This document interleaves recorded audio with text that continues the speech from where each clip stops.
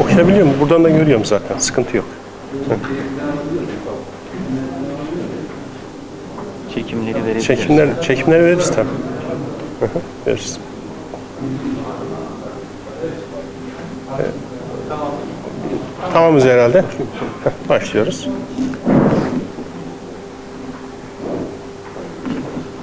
Saygıdeğer basın mensupları, Çankırı Karatekin Üniversitesi basının dinamikleriyle buluşuyor konulu toplantımıza hoş geldiniz. Biz şu aşamada üniversitenin üst yönetimi olarak sizlere üniversitemizle ilgili bazı bilgilendirmeleri yapmayı müla fayda mülahaza ettik.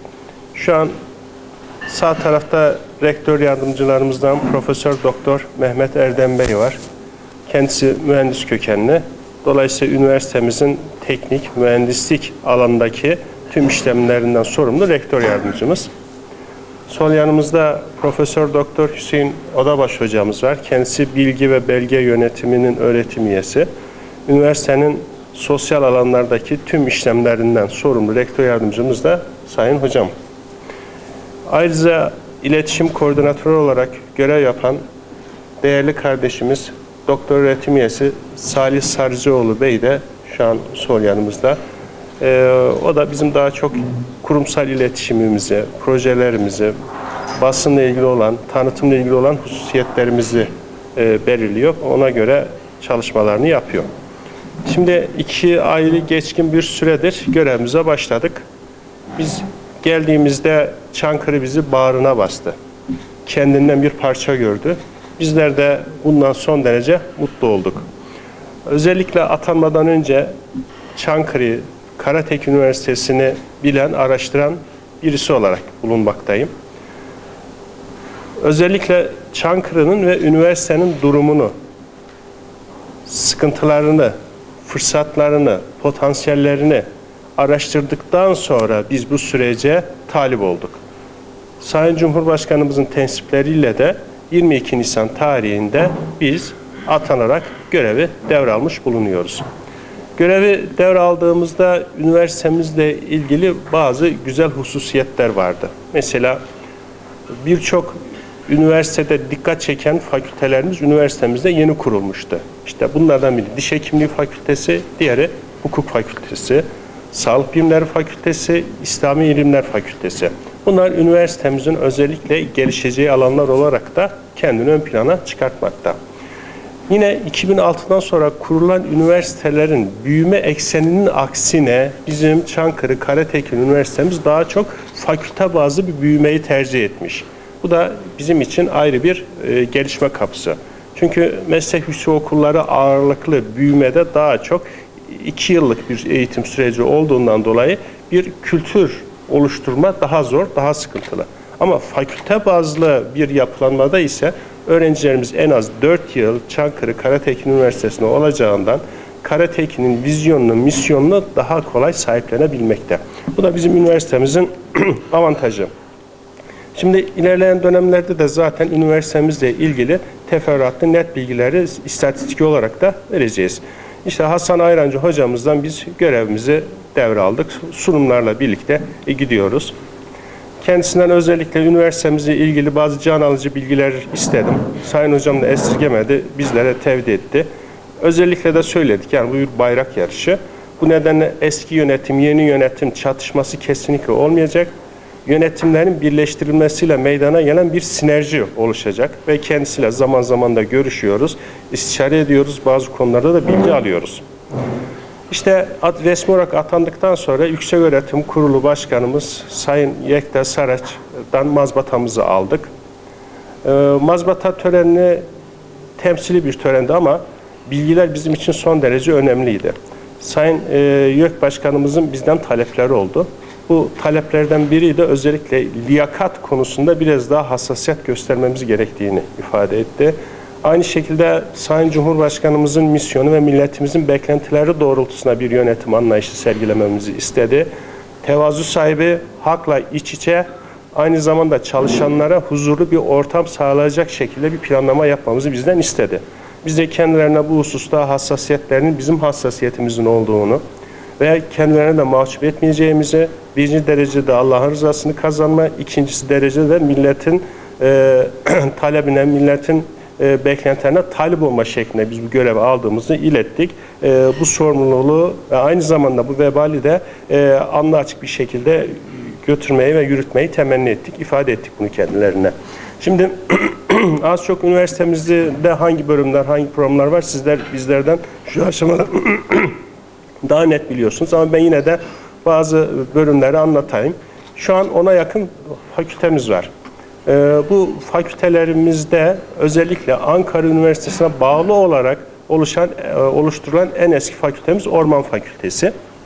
Daha sonra tabi temel bilimlerin olmazsa olmazı olan Fen Fakültesi ve Edebiyat Fakültemiz şu an e, ana iskeletimizi götürüyor. Ee, Sağlık Bilimleri Fakültemizde aşağı yukarı şu an 10 tane programımız aktif ve Türkiye'de en fazla bölümü olan fakültelerden biriyiz. Ee, ve Türkiye'de de Hacettepe'den sonra ikinciyiz. Dolayısıyla sağlık alan noktasında da bizim bir odak noktamız burada oluşabilmekte, oluşmakta. Ee, Sanat Tasarım Mimarlık Fakültemizin ismi değişti. Daha önce Güzel Sanatlar Fakültesi altında eğitim öğretimini veriyordu. Ama artık değişen dünya şartlarında multidisipliner çalışmalar kendini ortaya koyduğundan, gelişmeye daha iyi odakladığından dolayı e, fakültemizi de tasarım ve mimarlıkla alanlarıyla da bütünleştirerek Sanat Tasarım ve Mimarlık Fakültesi adı altında e, eğitim öğretime devam etmekteyiz. E, mühendislik fakültemiz hakeza e, dinamik bir fakültemiz. Çünkü özellikle çok iyi üniversitelerde ve yurt dışında doktora yapmış hocalarımızı barındırmakta. İslami İlimler Fakültemiz Ankara'nın yakınında olması hasebiyle birçok bürokraside görev yapmış değerli hocalarımızı şu an istihdam etmekte, eğitim öğretim süreçlerine katmakta. Hukuk Fakültemiz genç bir hukuk fakültesi ama Türkiye'deki hukuk fakültelerinden şöyle bir farkı var. Şu an öğrenci sayısı itibariyle 200'e yakın bir öğrenci alımı söz konusu hukuk fakültesinde. Aynı zamanda öğretim üyemiz, yeterli derecede öğretim üyemiz var sürdürülebilir eğitim öğretim için ise temelden gelen, alttan gelen doktor öğretim üyesi adaylarını da şu an yetiştiren bir fakültemiz. Bu nedenle özellikle katıldığımız toplantılarda birçok hukuk fakültesi öğretim elemanı eksikliğinden şikayetlerini dile getirirken bizim bu konuda rahatlığımız da onların gözlerinden kaçmıyor. Diş hekimliği fakültemiz o da yeni kurulan bir fakültemiz. Ee, sıkıntımız altyapı konusunda çok ciddi problemleri olan bir fakülteydi. Çünkü 150'ye yakın öğrenci geliyor. Yabancı uyruklu öğrencileri de kattığımızda, yatay geçişleri de dikkate aldığımızda bu da diğer fakültelerimiz gibi her yıl 200 öğrenci alabilecek bir kapasitedeydi. Daha önce devletin farklı kurumlarından tahsisle devraldığımız binalarımız vardı. Bu binalarımız depremden dolayı sıkıntı çekince, deprem testleri beklenen standartları karşılamayınca bunları biz resmi olarak yavaş yavaş elden çıkarıp yeni fiziksel altyapısı tamamlanmış binaları alma zorunluluğumuz var. Diş hekimliği fakültesi için de bunu da çünkü sayısal alanlarda en yüksek puanlı öğrencilerin geleceği yer diş hekimliği fakültesi. Yani bir nevi bizim Karatekin Üniversitesi'nin tanıtımını üstlenen fakültelerimizden biri. Bu nedenle biz diş hekimliği fakültesini önümüzdeki öğretim yılında ulu yazıda eğitim öğretim verecek şekilde bir yapılanmaya soktuk. Aynı zamanda diş hekimliği fakültesi hizmet üreten bir fakülte açılmış, öğrenci alınmış ama klinikle ilgili hiçbir adım atılmamış. Biz bunu önceliğimiz, öncelik alanlarımız, çalışacağımız projelerimiz içerisinde en öne alarak e, Allah nasip ederse Eylül'e kadar burada bir diş hekimliği kliniğini açmak istiyoruz. Hem Çankırı'ya hizmet edecek hem de bünyesinde eğitim öğretim gören öğrencilerin gelişimine ciddi manada katkı yapacak kısa vadeli müjdelerimizden biri de diş hekimliği fakültesi ve kliniklerinin olması. Meslek yüksek okullarımız var. İşte yine Ankara Üniversitesi'ne bağlı olarak kurulan meslek yüksek okulumuz meslek yüksek okulların merkezini oluşturmakta. Ee, Kızılırmak Meslek Yüksek Okulumuz var. Yalnız öğrenci Kızılırmak'a gitmediği için, tercih etmediği için e, eğitim öğretimlerini şu an merkezde veriyoruz. Eldivan Sağlık Hizmetleri Meslek Yüksekokulumuz ilçede olmasına rağmen çok güzel bir potansiyeli olan meslek yüksekokulumuz. gelişmeye müsait. Şu an 1500'e yakında öğrencimiz var orada. Geçen ziyarete gittik. Orada değerli hocalarımızın da bilimsel çalışmaları göz doldurdu. Bizi gururlandırdı. Kendilerine de bir fakülte ayarında eğitim, öğretim verdiği ve çıktılarına bu noktada odaklandığı için teşekkürlerimizi sayın heyetimizle birlikte ifade ettik. Bu husustada onların önlerini açacağız. Dolayısıyla Eldivan Sağlık Hizmetleri Meslek Yüksek Okulu'nda üniversitemiz için e, gelişmeye e, müsait alanlarından biri olarak görüyoruz. Yapraklı Meslek Yüksek Okulumuz o da ilçe adını taşımasına rağmen merkezde eğitim öğretim verdiğimiz bir meslek yüksek okulu. 600'e yakın bir öğrencimiz var. Ee, Çerkeş Meslek Yüksek Okulu yani bizim ilçelerimiz içerisinde en fazla nüfusa sahip ilçelerden biri olmasına rağmen Meslek Yüksek Okulu'nu orada bir türlü aktif hale getiremedik. Bu iki husustan kaynaklandı. Birincisi orada açılacak bölümlerin Türkiye'deki doluluk oranı dikkate alacak şekilde planlanmamasından kaynaklanması. İkincisi ise ilçe olması. Ama biz değerli başkanımızla görüştük. Biz Çerkeş için de inşallah YÖK müsaade ederse ikinci bir sağlık hizmetleri meslek yüksek okulunu oraya açmayı düşünüyoruz. Çünkü ulaşım noktasında e, Çerkeş Tüneli'nin de aktif hale gelmesiyle Ankara'ya daha yakın olan bir ilçemiz oldu. E, 12 bin 13 binle nüfusu olan bir ilçemiz. Dolayısıyla sağlık hizmetleri konusunda da bir e, cazibe noktası olacak ilçemiz. Şu an o süreci devam ettiriyoruz. E, ilerleyen dönemlerde de inşallah bunların da müjdesini size vereceğiz. Kurşunlu Adalet Meslek Yüksek Okulumuz şu an orada özellikle hukuk alanındaki programlarımız var. Adalet meslek, adalet programımız var. Ama orada da özellikle ceza ve tevkif evlerinin genel müdürlüğüyle yapacağımız protokollerle e, hizmetini, eğitimini devam ettireceğimiz ek programları da açmayı düşünüyoruz. Kurşun'un şöyle bir avantajı var. Özellikle orada bine yakın TOKİ konutunun yapıldığı bir ilçe olarak biliyoruz gelen öğrencilerimiz, öğrencilerimizin velilerinin rahatlıkla kalabileceği bir ortam sağlanmış. E, belediye başkanımız da bu hususta özellikle çok gayretli. Altyapı noktasında desteğini her zaman vereceğini söylüyor. Dolayısıyla ilçelerdeki meslek yüksek okullarımızdan özellikle e, nüfusu fazla olan ilçeleri biz biraz daha önceliyoruz. Çünkü nüfus itici bir parametre. Nüfus olduğu zaman gelişmeye gelişmeye daha yakın yakalarsınız. İnsanların beklentilerini daha rahat bir şekilde karşılayabilirsiniz. Sosyal donatı alanlarınız olur. Barınma imkanları olur. Aynı zamanda ulaşım problemleri daha aza iner. Ee, böylelikle e, nüfusun önemli ve yoğun olduğu ilçeleri biz önemsiyoruz. Evet, şu aşamada fakültelerimizde 43 tane bölümümüz var. Ilgaz Turizm ve Otelcilik Yüksek Okulumuzda şu an iki bölümümüz var.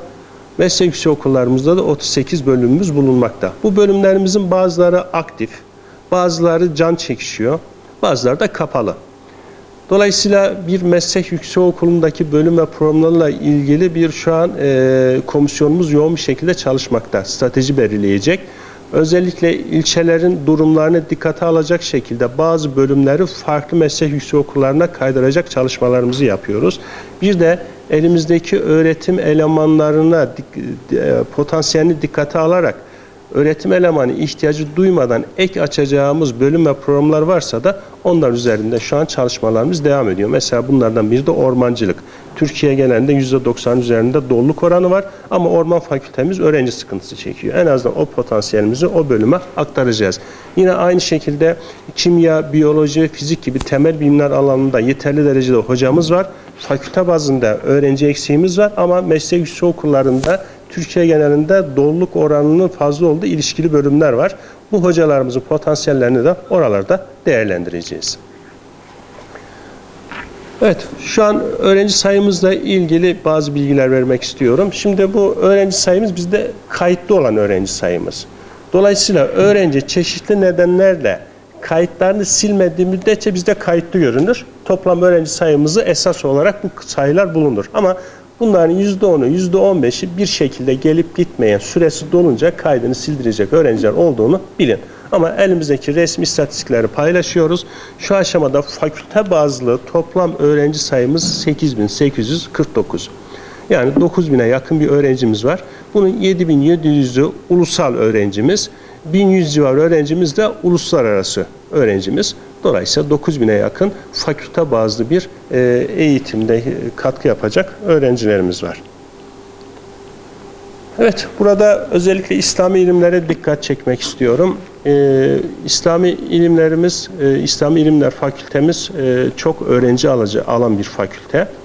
E, bunların işte fiziki mekan sıkıntıları, problemleri var. İlerleyen dönemlerde bu sıkıntıları çözecek adımlarımızı da sizlerle paylaşacağız. Ama öğrenci sayısı itibariyle belirli bir misyonu, belirli bir sayı üstlenmiş durumda.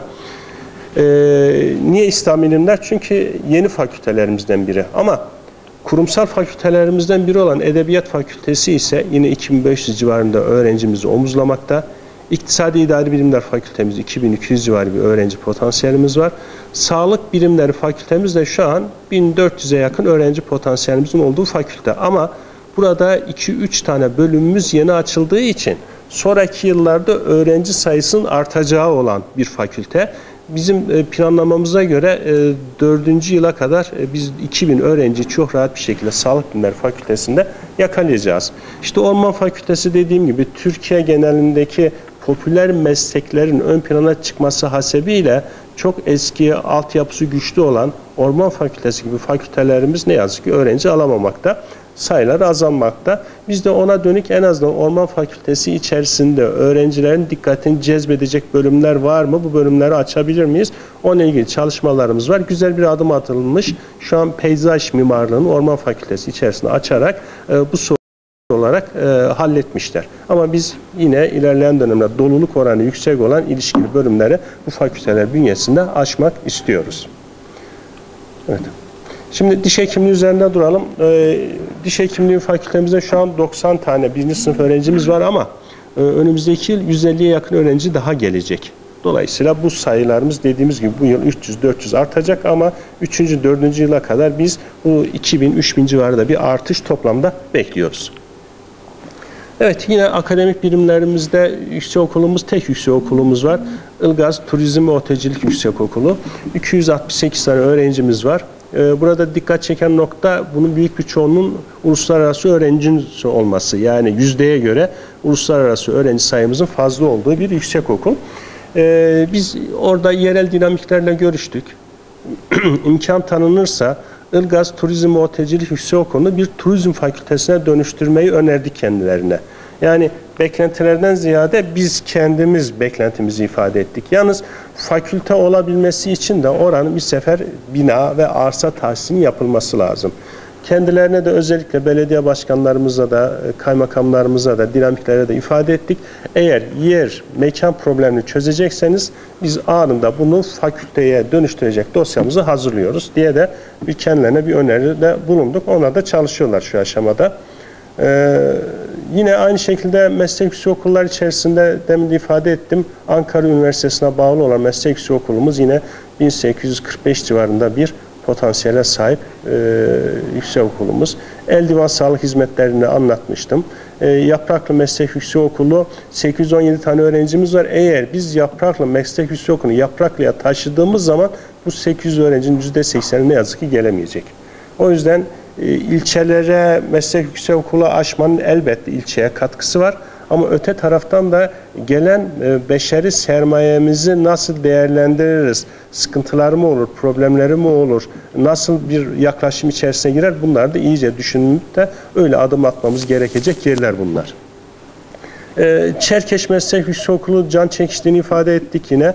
Onu da merkeze çektik. Çünkü orada planlama yapılırken daha çok e, Kurşunlu'ya yakın olan seramik alanında işte orada öğrencilerin staj yapma, istihdam edilme oranı yüksek olacağı düşünülerek e, Çerkeş Meslek Yüksekokulu seramik ağırlıklı bir büyümeye kendini e, dönüştürmüş ama öğrenci talebi olmayınca da orada da bir hayal kırıklığına uğramışız.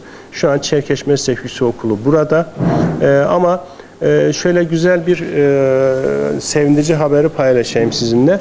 Ee, şu an Çerkeş Meslek Yüksekokulu'nu tercih edecek her öğrenciye aylık karşılıksız olarak 400 TL burs protokolünü yaptık.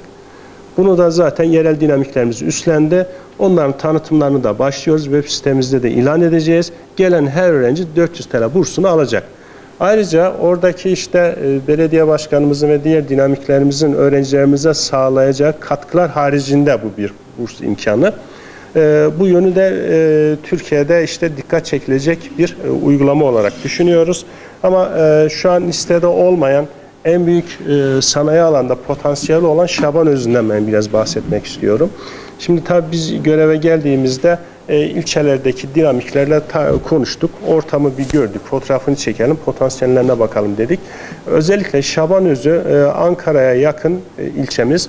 Sanayi alanda da birçok alanda istihdamı olan bir ilçemiz. Ama orada şimdiye kadar bir meslek yüksek okulu açılamamış. Dolayısıyla e, Şabanözü'nün tarihten alacağı olan bir ilçe olarak ben görüyorum ve düşünüyorum. Oradaki e, başkanımıza da ifade ettik, sayın vekilimize de ifade ettik. Dedik ki biz Türkiye'de bir pilot program olan e, sanayi destekli bir meslek yüksek okulu açalım burada. Özellikle orada nitelikli iş gücünü, e, ihtiyacını karşılayacak, aynı zamanda bitirenlerin istihdamının problem olmayacağı alanlar tespit edelim. E, Sayın Rektör Yardımcımız da bu hususta bir çalışma yaptı. E, önümüzdeki hafta da mezuniyet törenimiz var. Ondan sonraki haftada inşallah Şaban Üzü'nü ziyaret edeceğiz. Yerinde göreceğiz. Orada bir meslek yüksek okulu e, açmayı düşünüyoruz. İnşallah onun da müjdesini yakında sizlerle paylaşacağız. Bu meslek yüksek okulunu niye önemsiyoruz? Çünkü bizim orada teknokentimiz var. Aynı zamanda 3-4 bin kişinin istihdam edildiği sanayi alanları var. Özellikle Türkiye genelinde yaygın e, transfer ağının olduğu birçok firma orada üretim yapıyor. Bunlar bizim için avantaj. Dolayısıyla Çerkeş'teki yaptığımız uygulamayı orada da yapacağız çünkü onların sözünü aldık. Oraya gelecek her öğrenci karşılıksız bursunu alacak. Karşılıksız bursunu aldıktan sonra bitirdiğinde de anında iş bulacak. İstihdamını çözmüş olacağız. Dolayısıyla bu yönüyle de Ankara'daki sanayi destekli meslek yüksek okullarından sonra cazibesi olan bir meslek yüksek okulu olacağını bekliyoruz, düşünüyoruz. Evet, toplam öğrenci sayımızı da burada yeri gelmişken paylaşalım. Şu an e, 18 bin civarı bizim öğrencimiz var. Bu 18 bin öğrencinin %10'unu, %15'ini fiili olarak devam etmeyenler grubuna dahil ettiğimizde aşağı yukarı 15 bin civarında fiili olarak üniversitemize devam eden öğrencilerimiz var şu aşamada. Evet toplamda. Şu an e, uluslararası öğrencimiz 3600 civarı, ulusal öğrencimiz de 14000 civarı. Şimdi demin e, toplantıdan önce işte e, değerli abimiz neydi? Suat Bey. Ha, Suat Bey'di. Evet. Suat Bey'le bazı konuşmalarda bulunduk. Yani e, biz uluslararasılaşma konusunda önem veren bir üniversite olmak istiyoruz ama gelen öğrenciler de burada ihtiyaçlarını karşılayacak, beklentilerini karşılayacak bir sosyal ortamını da bekliyoruz. Bu ne olur? Ben sürekli söylemişim. Üniversiteyle şehir birlikte büyürse sorunlar ortadan kalkar. Yoksa birlikte büyümüyorsa bazı alanlarda birbirine rakip oluyor. Dolayısıyla biz o sinerjiyi yakalayamıyoruz. Sinerji yakalayamayınca da hem olması gereken işleri yapamıyoruz hem de hedeflerimizi gerçekleştiremiyoruz. Bu da bizim için yük ve külfet olmakta. Dolayısıyla uluslararası öğrencilerimizi burada barınmasına tutun da onların sosyal imkanlarına kadar bir hazırlık, bir destek sürecimizin olması lazım. İlk etapta şehir bazı konularda yadırgamış ama şu an kabullenmiş. Hatta ben bir iki esnafla da görüşüyorum. Hocam işte o renkli renkli öğrencilerimiz ne zaman gelecek falan diye de talepte bulunuyorlar. Dolayısıyla bu uluslararası öğrencilerimizin e, farklı ülkelerden gelmesi, onların değerlerini, kültürlerini Çankırı'da aktarması bir kültür dinamik vasıtası, kültür transfer vasıtası olarak da ben görüyorum. Bu yönüyle de Çankırı'dan hem bir şeyler alacak hem de Çankırı'ya pozitif katkılar yapacağını da düşünüyoruz. Ama bu hususta biraz daha dinamiklerimizin aktif halde olması lazım. Sivil toplum kuruluşlarımızın biraz daha ön planda olması lazım. E, yerel yönetimlerin de bu hususta biraz daha onların önlerini açacak yatırımlarda bulunması lazım. Dolayısıyla e, İç Anadolu bölgesi içerisinde yüzde olarak en fazla uluslararası öğrencisi bulunan bir üniversiteyiz. Bunu da net bir şekilde paylaşayım. Evet. E, şimdi gelelim bu yıla. Bu yıl ne olacak? Bu yılki kontenjanlarımızı sizinle paylaşıyorum. Bu yıl e, bizim şu an 3949 e, öğrenci gelmesi için hazır olan programlarımız var. Kılavuzda basıldı. 2022 yılı içinde ilk defa öğrenci alımı yapılması planlanan yerlerimiz e, ön lisans programı sayısı 43, lisans programı sayısı 21. Yani toplamda 64'e yakın bir bölüm ve programımız var. 2022 yılında öğrenci alacak bölüm ve program sayımız. E, 4000 civarı bir öğrenci bekliyoruz. Mezun olacak öğrenci sayımız 3500. Yalnız Yüksek Öğretim Kurulu'nun almış olduğu karar gereği lisans ve ön lisans mezunlarının azami, azami sürelerini doldurması nedeniyle de bir 800 civarı da öğrencimizin kaydını silineceğini de burada üzülerek ifade etmek isterim. Bunlar bizim elimizde olan hadiseler değil. Belli bir dönem şartı var. O dönem şartını e, sağlayamadıkları için, mezun olamadıkları için 800 civarında öğrencimizin kaydı silinecek. Yani şöyle dersek 4000 civarı öğrenci gelecek, 3500 öğrenci mezun edeceğiz. 800 civarında öğrencinin kaydını sileceğiz. Demek ki bu yıla göre biz 300 eksi kontenjanına giriyoruz. Bu yıl için böyle ama önümüzdeki yıl bu 800 kişilik silme olmadığı için önümüzdeki yıl bu sıkıntıdan e, daha az etkilenmiş olacağız. Evet şimdi üniversitemizin özellikle kendisini ve şehre katkıları noktasında e, neler olabileceği, neler yapabileceğimiz konusunda sürekli girişimlerimiz oldu. İşte bu hususta e, sayın milletvekillerimizle sürekli istişare ediyoruz. E, geçen yine meclise gitmiştik. Grup başkan vekilimizle, Sağlık Bakanımızla görüştük. E, Salim vekilimizle sürekli görüşüyoruz hakeza. E, belediye başkanımızla istişare ediyoruz. Burada da protokol noktasında çok güzel bir sinerjinin yakalandığı protokol ortamı var. Ondan söyleyeyim. Sayın Valimiz, Tugay Komutanımız, işte e, Başsavcımız, belediye başkanlarımız. İnşallah Çankırı bu sinerjiyle devam ederse kısa vadede e, güzel işler yapacağına inanıyorum. E, sayın milletvekillerimizin de bu konuda desteği bizler için son derece önemli. Esirgemiyorlar. Yani bir yere gittiğimizde aynen şunu söylüyorlar. Hocam emrinizdeyiz. Yani bunu söyleyebilecek kadar Çankırı'yı seven ve mütevazi insanlar. Yani bu benim için çok önemliydi. Onu da sizlerle paylaşayım ve kendilerine teşekkür ediyorum. Şimdi özellikle ilçe belediye başkanlarımız ve vekillerimizle bir toplantı gerçekleştirdik. Bu toplantı da bizim için e, kazanmaları olan bir toplantı oldu. Çünkü ilk ağızdan beklentileri aldık, önerileri aldık. Biz de sorunları söyledik. E, kendilerinden beklentilerimizi dile getirdik birlikte neler yapabileceğimiz konusunda çok güzel bir ortak akıl toplantımız, istişaremiz oldu. Yani bu toplantı tam bir çalıştay havasına geçen toplantı oldu. O yüzden ilçelere gitmeden dahi biz şu an ilçelerin durumunu daha net bir şekilde görüyoruz. Burada e, yine sevindiğimiz nokta özellikle ilçedeki dinamiklerimiz de üniversiteyle birlikte gelişmeye ve büyümeyi isteyen bir halet ruhiyeye sahip olmaları. Evet, e, zaman zaman e, işlerimizin olduğu bürokrasilerle de bir trafiğimiz oluyor. İşte Ali Erbaş hocamızla geçen hafta yine bir toplantı gerçekleştirdik. Kendilerinin Çankırı'ya ve sizlere selamı var. Ben özellikle onu ileteyim. Tabii e, Diyanet'e gittiğimizde herkes camimiz için e, gittiğimizi düşündü. Evet, cami bizim gündem maddelerimizden biriydi. Ama en önemli gündem maddemiz şuydu. Diyanet'in özellikle Balkanlarda yaptığı bazı programlar ve projeler var. Biz de üniversite olarak bu projelerin içerisinde olmak istediğimizi ifade ettik. Yani neticede biz sadece Anadolu sınırlarına hapsolmuş bir millet değiliz. Sürekli söyleriz. Orta Asya'dan Adriyatik'e kadar bir medeniyet kurmuş olan millete mensuplarıyız. Dolayısıyla tarihte birlikte olduğumuz, kanımızı koyduğumuz, kültürümüzü koyduğumuz, havasını soluduğumuz, her yer bizim için memleketin bir parçasıdır. Buradaki insanların taleplerine, beklentilerine asla duyarsız kalmıyoruz dedik.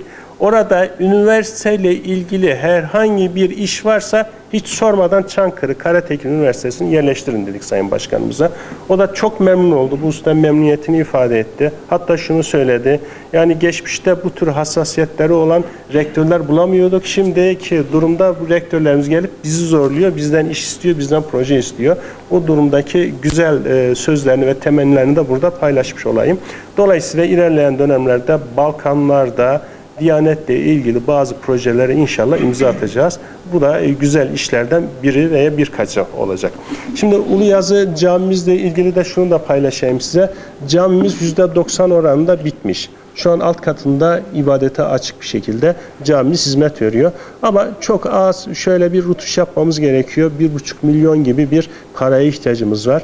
Bir kısmı e, daha önce çalışan müteahhidin alacağı, diğer kısmı ise peyzaj dahil işte e, şadırvanlar, altyapı, halılar, elektrik tesisatı bunlarla ilgili olan kısım.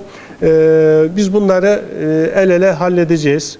Bunu Çankırı'nın desteğiyle, Türkiye'deki gittiğimiz, işte destek istediğimiz bazı şahsiyetlerle, kendi aramızda kuracağımız ortak e, paylaşım e, ortamlarıyla inşallah halledeceğiz. E, temennim bu yıl camimizin de tam teşkil e, faaliyete geçmesine vesile olmak. Bunu ama özellikle bu hususta ben Çankırı halkından, Çankırı'nın dinamiklerinden, büyük şehirlerde yatırımları olan Çankırılı iş adamlarından destek istediğimiz sizin de not alıp ifade etmeniz. Bir buçuk milyon lira borcu var. Doğru mu? Ee, bir buçuk milyonluk işimiz var. Çok güzel. Bir buçuk milyon yani borcumuz belki 500 milyon civarındadır. Belki daha azdır ama bir buçuk milyonluk bir işimiz var. İnşallah bitireceğiz. Bu noktaya gelmişse bunun bitmesi lazım. Evet, e, Çankırı Ticaret ve Sanayi Odası da bizim için önemli bir paydaştı. İşte Sayın Başkanımız buraya geldiğinde üniversite sanayi işbirliği konusunda yine fikir alışverişinde bulunduk. E, biz Çankırı'nın en önemli kaynağı olarak, doğal kaynağı olarak tuzla ilgili de bir projemizin olduğunu kendilerine bahsettik. Burada sizlere de e, yüzde görüştüğümüzde anlatmıştım. Tekrar etmekte de fayda var. Şimdi e, üniversiteler içerisinde bölgesel misyon farklılaşması kapsamında bir kalkınma üniversiteleri var. Kısaca pilot üniversiteler deniliyor. Bu pilot üniversitelerde e, özellikle bulunduğu bölgenin potansiyeline katkı yapacak oranda geliştirme projelerini üstlenen üniversiteler. E Şimdi bizim elimizde de tuzumuz var. Ormanımız var, sanayimiz var, e, dinamiklerimiz var. Biz bunları inşallah e, şehirle birlikte aktif hale getireceğiz. Tuzla ilgili olarak da bir çalışma yaptık. Buna çok ciddi manada katkısı olan rektör yardımcımız kendisi kimya mühendisi kökenli olduğu için alanla da ilgili. E, bir kısa vadede hemen bir çalışma yaptık. Projemizi gönderdik. Eğer projemiz YÖK tarafından desteklenebilecek bir proje olarak kabul edilirse önümüzdeki 4 yıl tuz alanda bizi zinde tutacak birçok projeye de Allah'ın izniyle imza atacağız. Tabii Çankırı'nın en büyük e, avantajından biri de aslında iklimi. Bu iklimle İç Anadolu ile Karadeniz ikliminin buluştuğu bir kavşakta. Kendine has bitki örtüsünden tutun da doğal kaynaklarına kadar bir çeşitliliğe sahip olan bir iklim. Biz bunları da kullanmayı düşünüyoruz. Bu nedenle doğal kaynakları araştırma uygulama merkezi diye bir merkezin çalışmasını yapıyoruz. Bu merkez bittikten sonra eğer YÖK'e vermiş olduğumuz projede kabul edildikten sonra biz tuzla ilgili ek projeler yapacağız. Şu an tuzun %97'si kullanılamıyor. Yani çok az oranda %3'lük bir kısmı kullanılıyor. Biz bu %97'sine talibiz dedik. Kısa vadede işte medikal tuz üretimiyle ilgili çalışmalar var. Onları genişleteceğiz. Terapi ile ilgili yıllardan tarihten gelen bir çalışma var. Onlar zaten devam ediyor. Biz buna yeni inovasyonlar katacağız bilimin ışığı altında. Tabii ek olarak biz tuz ham maddesine dayanarak yeni yan ürünlerin elde edeceği bizim projelerimiz var. İşte e, tuz merkezli elektrokimyasal proseslerle oluşturacağımız klor gazı, daha sonra bunu dönüştüreceğimiz havuz dezenfektanları, aynı zamanda e, sodyum hidroksit dediğimiz yan bileşenlerin de üretileceği yeni sektörler düşünüyoruz. Bu hususta hatta yatırımcıların da dikkatini çekti. Şu an projemiz gelişmeden gelip bizden fikir alışverişinde bulunan, ortak işbirliği teklif eden firmalarla karşı karşıya geldik. İnşallah bu projemiz geçerse bizim işte bu söylediğimiz sözlerin, duyguların e, eteğe kemiğe bürünmüş halini de inşallah sizlerle paylaşacağız. Bunu da sizlere deklare edelim. Evet, e, özellikle organize sanayi bölgelerinin teşvik alması hasebiyle bazı alanlarda kümelenme olmuş. Bu kümelenmelerin e, dikkat çektiği bir üniversite, sanayi bölgemiz de Koorgun Organize Sanayi Bölgesi. E, dün de zaten yeni atanan Kaymakam Bey'le de görüşmüştük. Daha önce OSB yönetimiyle ve belediye başkanımızla da görüşmüştük. Oranın daha çok nitelikli iş gücüne ihtiyaçlarının olduğunu ifade etmişlerdi. O hususta yine birlikte neler yapabileceğimiz ilerleyen dönemlerde yapacağımız çalıştaylarla ortaya koyacağız. Evet, şimdi Kırşehir'den geldim ben ve sürekli şunu söylerim. Ahilik diyarından yarenlik diyarına geldim. Ahilik ve yarenlik bir bütün. Nasıl ahilik diyarında onlar bize kucak açtıysa, ahilik kültüründen biz istifade etmişsek inşallah yaren kültüründen de istifade edeceğiz. Onlarla güzel bir işbirliği oluşturacağız. Kültürümüz noktasında da güzel işler yapacağız. Bunu daha önce söylemiştik. Dolayısıyla e, ahilik haftası etkinlikleri kapsamında da Çankırı'da da bir şeyler yapabilir miyiz diye Genel Müdürümüz e, Kooperatifler Esnaf Sanatkarlar Kooperatifler Genel Müdürü Necmettin Erkan Bey ile bir görüşme gerçekleştirdik. Necmettin Erkan Bey ile biz daha önce Kırşehir'den tanışıyoruz. Arkadaşımız öyle söyleyelim. İfade ettiği husus şu. Hocam Orada bizim genel müdürlüğümüzle ilgili ne istiyorsanız kapı sonuna kadar açık. Ne istiyorsanız. O yüzden ben bunu Esnaf Odası Başkanımızla da paylaştım. Ticaret Sanayi Odası Başkanımızla da paylaştım. Ticaret İl Müdürümüzle de paylaştık. Burada sizlerle de paylaşıyoruz. Bu ahilik haftası etkinliklerle ilgili Çankırı ölçeğinde neler yapabiliriz? Bununla ilgili de inşallah bir fikir e, işbirliği içerisinde olalım. Önerilerinizi alalım. Çünkü kapılar açık. Desteğimizi alacağız inşallah. Evet, daha önce burada hizmet etmiş değerli bir hocamız vardı. İbrahim Demirtaş hocamız. Şu an Iğdır Üniversitesi'nin rektör yardımcısı. Otomasyon konusunda bizim üniversitemizin ileride olduğunu kendisi daha önce biliyordu. Dolayısıyla otomasyonlar konusunda biz Iğdır Üniversitesi'ne destek sağladık. Bu otomasyon projemiz tamamen yerli ve milli bir proje. Kendi imkanlarımızla yaptığımız bir proje. Hatta şu an bir kısmını YÖK kullanıyor. YÖK'e de hediye ettiğimiz bir proje. Bunu birlikte inşallah e, geliştireceğimiz bir e, proje unsuru olarak görüyoruz. E, personel öğrenci otomasyonumuzu Iğdır Üniversitemizle paylaşmış bulunuyoruz. Yani sadece kendi ekseninde değil, Türkiye'nin diğer bölgelerindeki üniversitelerle de işbirliği yapabilen bir üniversite formunda olduğumuzu ifade ediyoruz. Stratejik plan çalışmalarımız var. 2022-2026 stratejik plan çalışmalarımızı e, Hüseyin hocamız ve Mehmet hocamızın başkanlıklarında devam ettiriyoruz. Bizim önümüzdeki 4 yılın aslında bir haritası. Stratejik planı biz paylaştığımızda hocam ne yapacaksınız, ne edeceksiniz türü soruların e, cevapların olduğu bir e, proje plan çalışması olacak. Onları da zaten sizlerle paylaşacağız. Bu nedenle performans ölçütlerimizi, göstergelerimizi, gelişeceğimiz alanları, geliştireceğimiz alanları, fırsatları bu plan içerisinde güzel bir şekilde anlatıyoruz. Yoğun bir şekilde devam ediyor çalışmalarımız. Tabii stratejik plan yaparken bizim üniversitemizin bazı misyonu, misyonu ve vizyonu vardı, hedefleri vardı. İşte bunlardan biri biz girişimci olacağımızı ifade etmiştik. Özellikle öncü araştırmalara odaklanacaktık. E aynı zamanda hem ulusal ve hem uluslararası düzeyde de eğitim öğretim odaklılığımızın olacağını ifade ediyoruz. Şu an nasıl sizlerle birlikteysek diğer dinamiklerle de zaman zaman bir araya gelip paydaşlarla işbirliği içerisinde olan bir üniversite olmayı düşünüyoruz.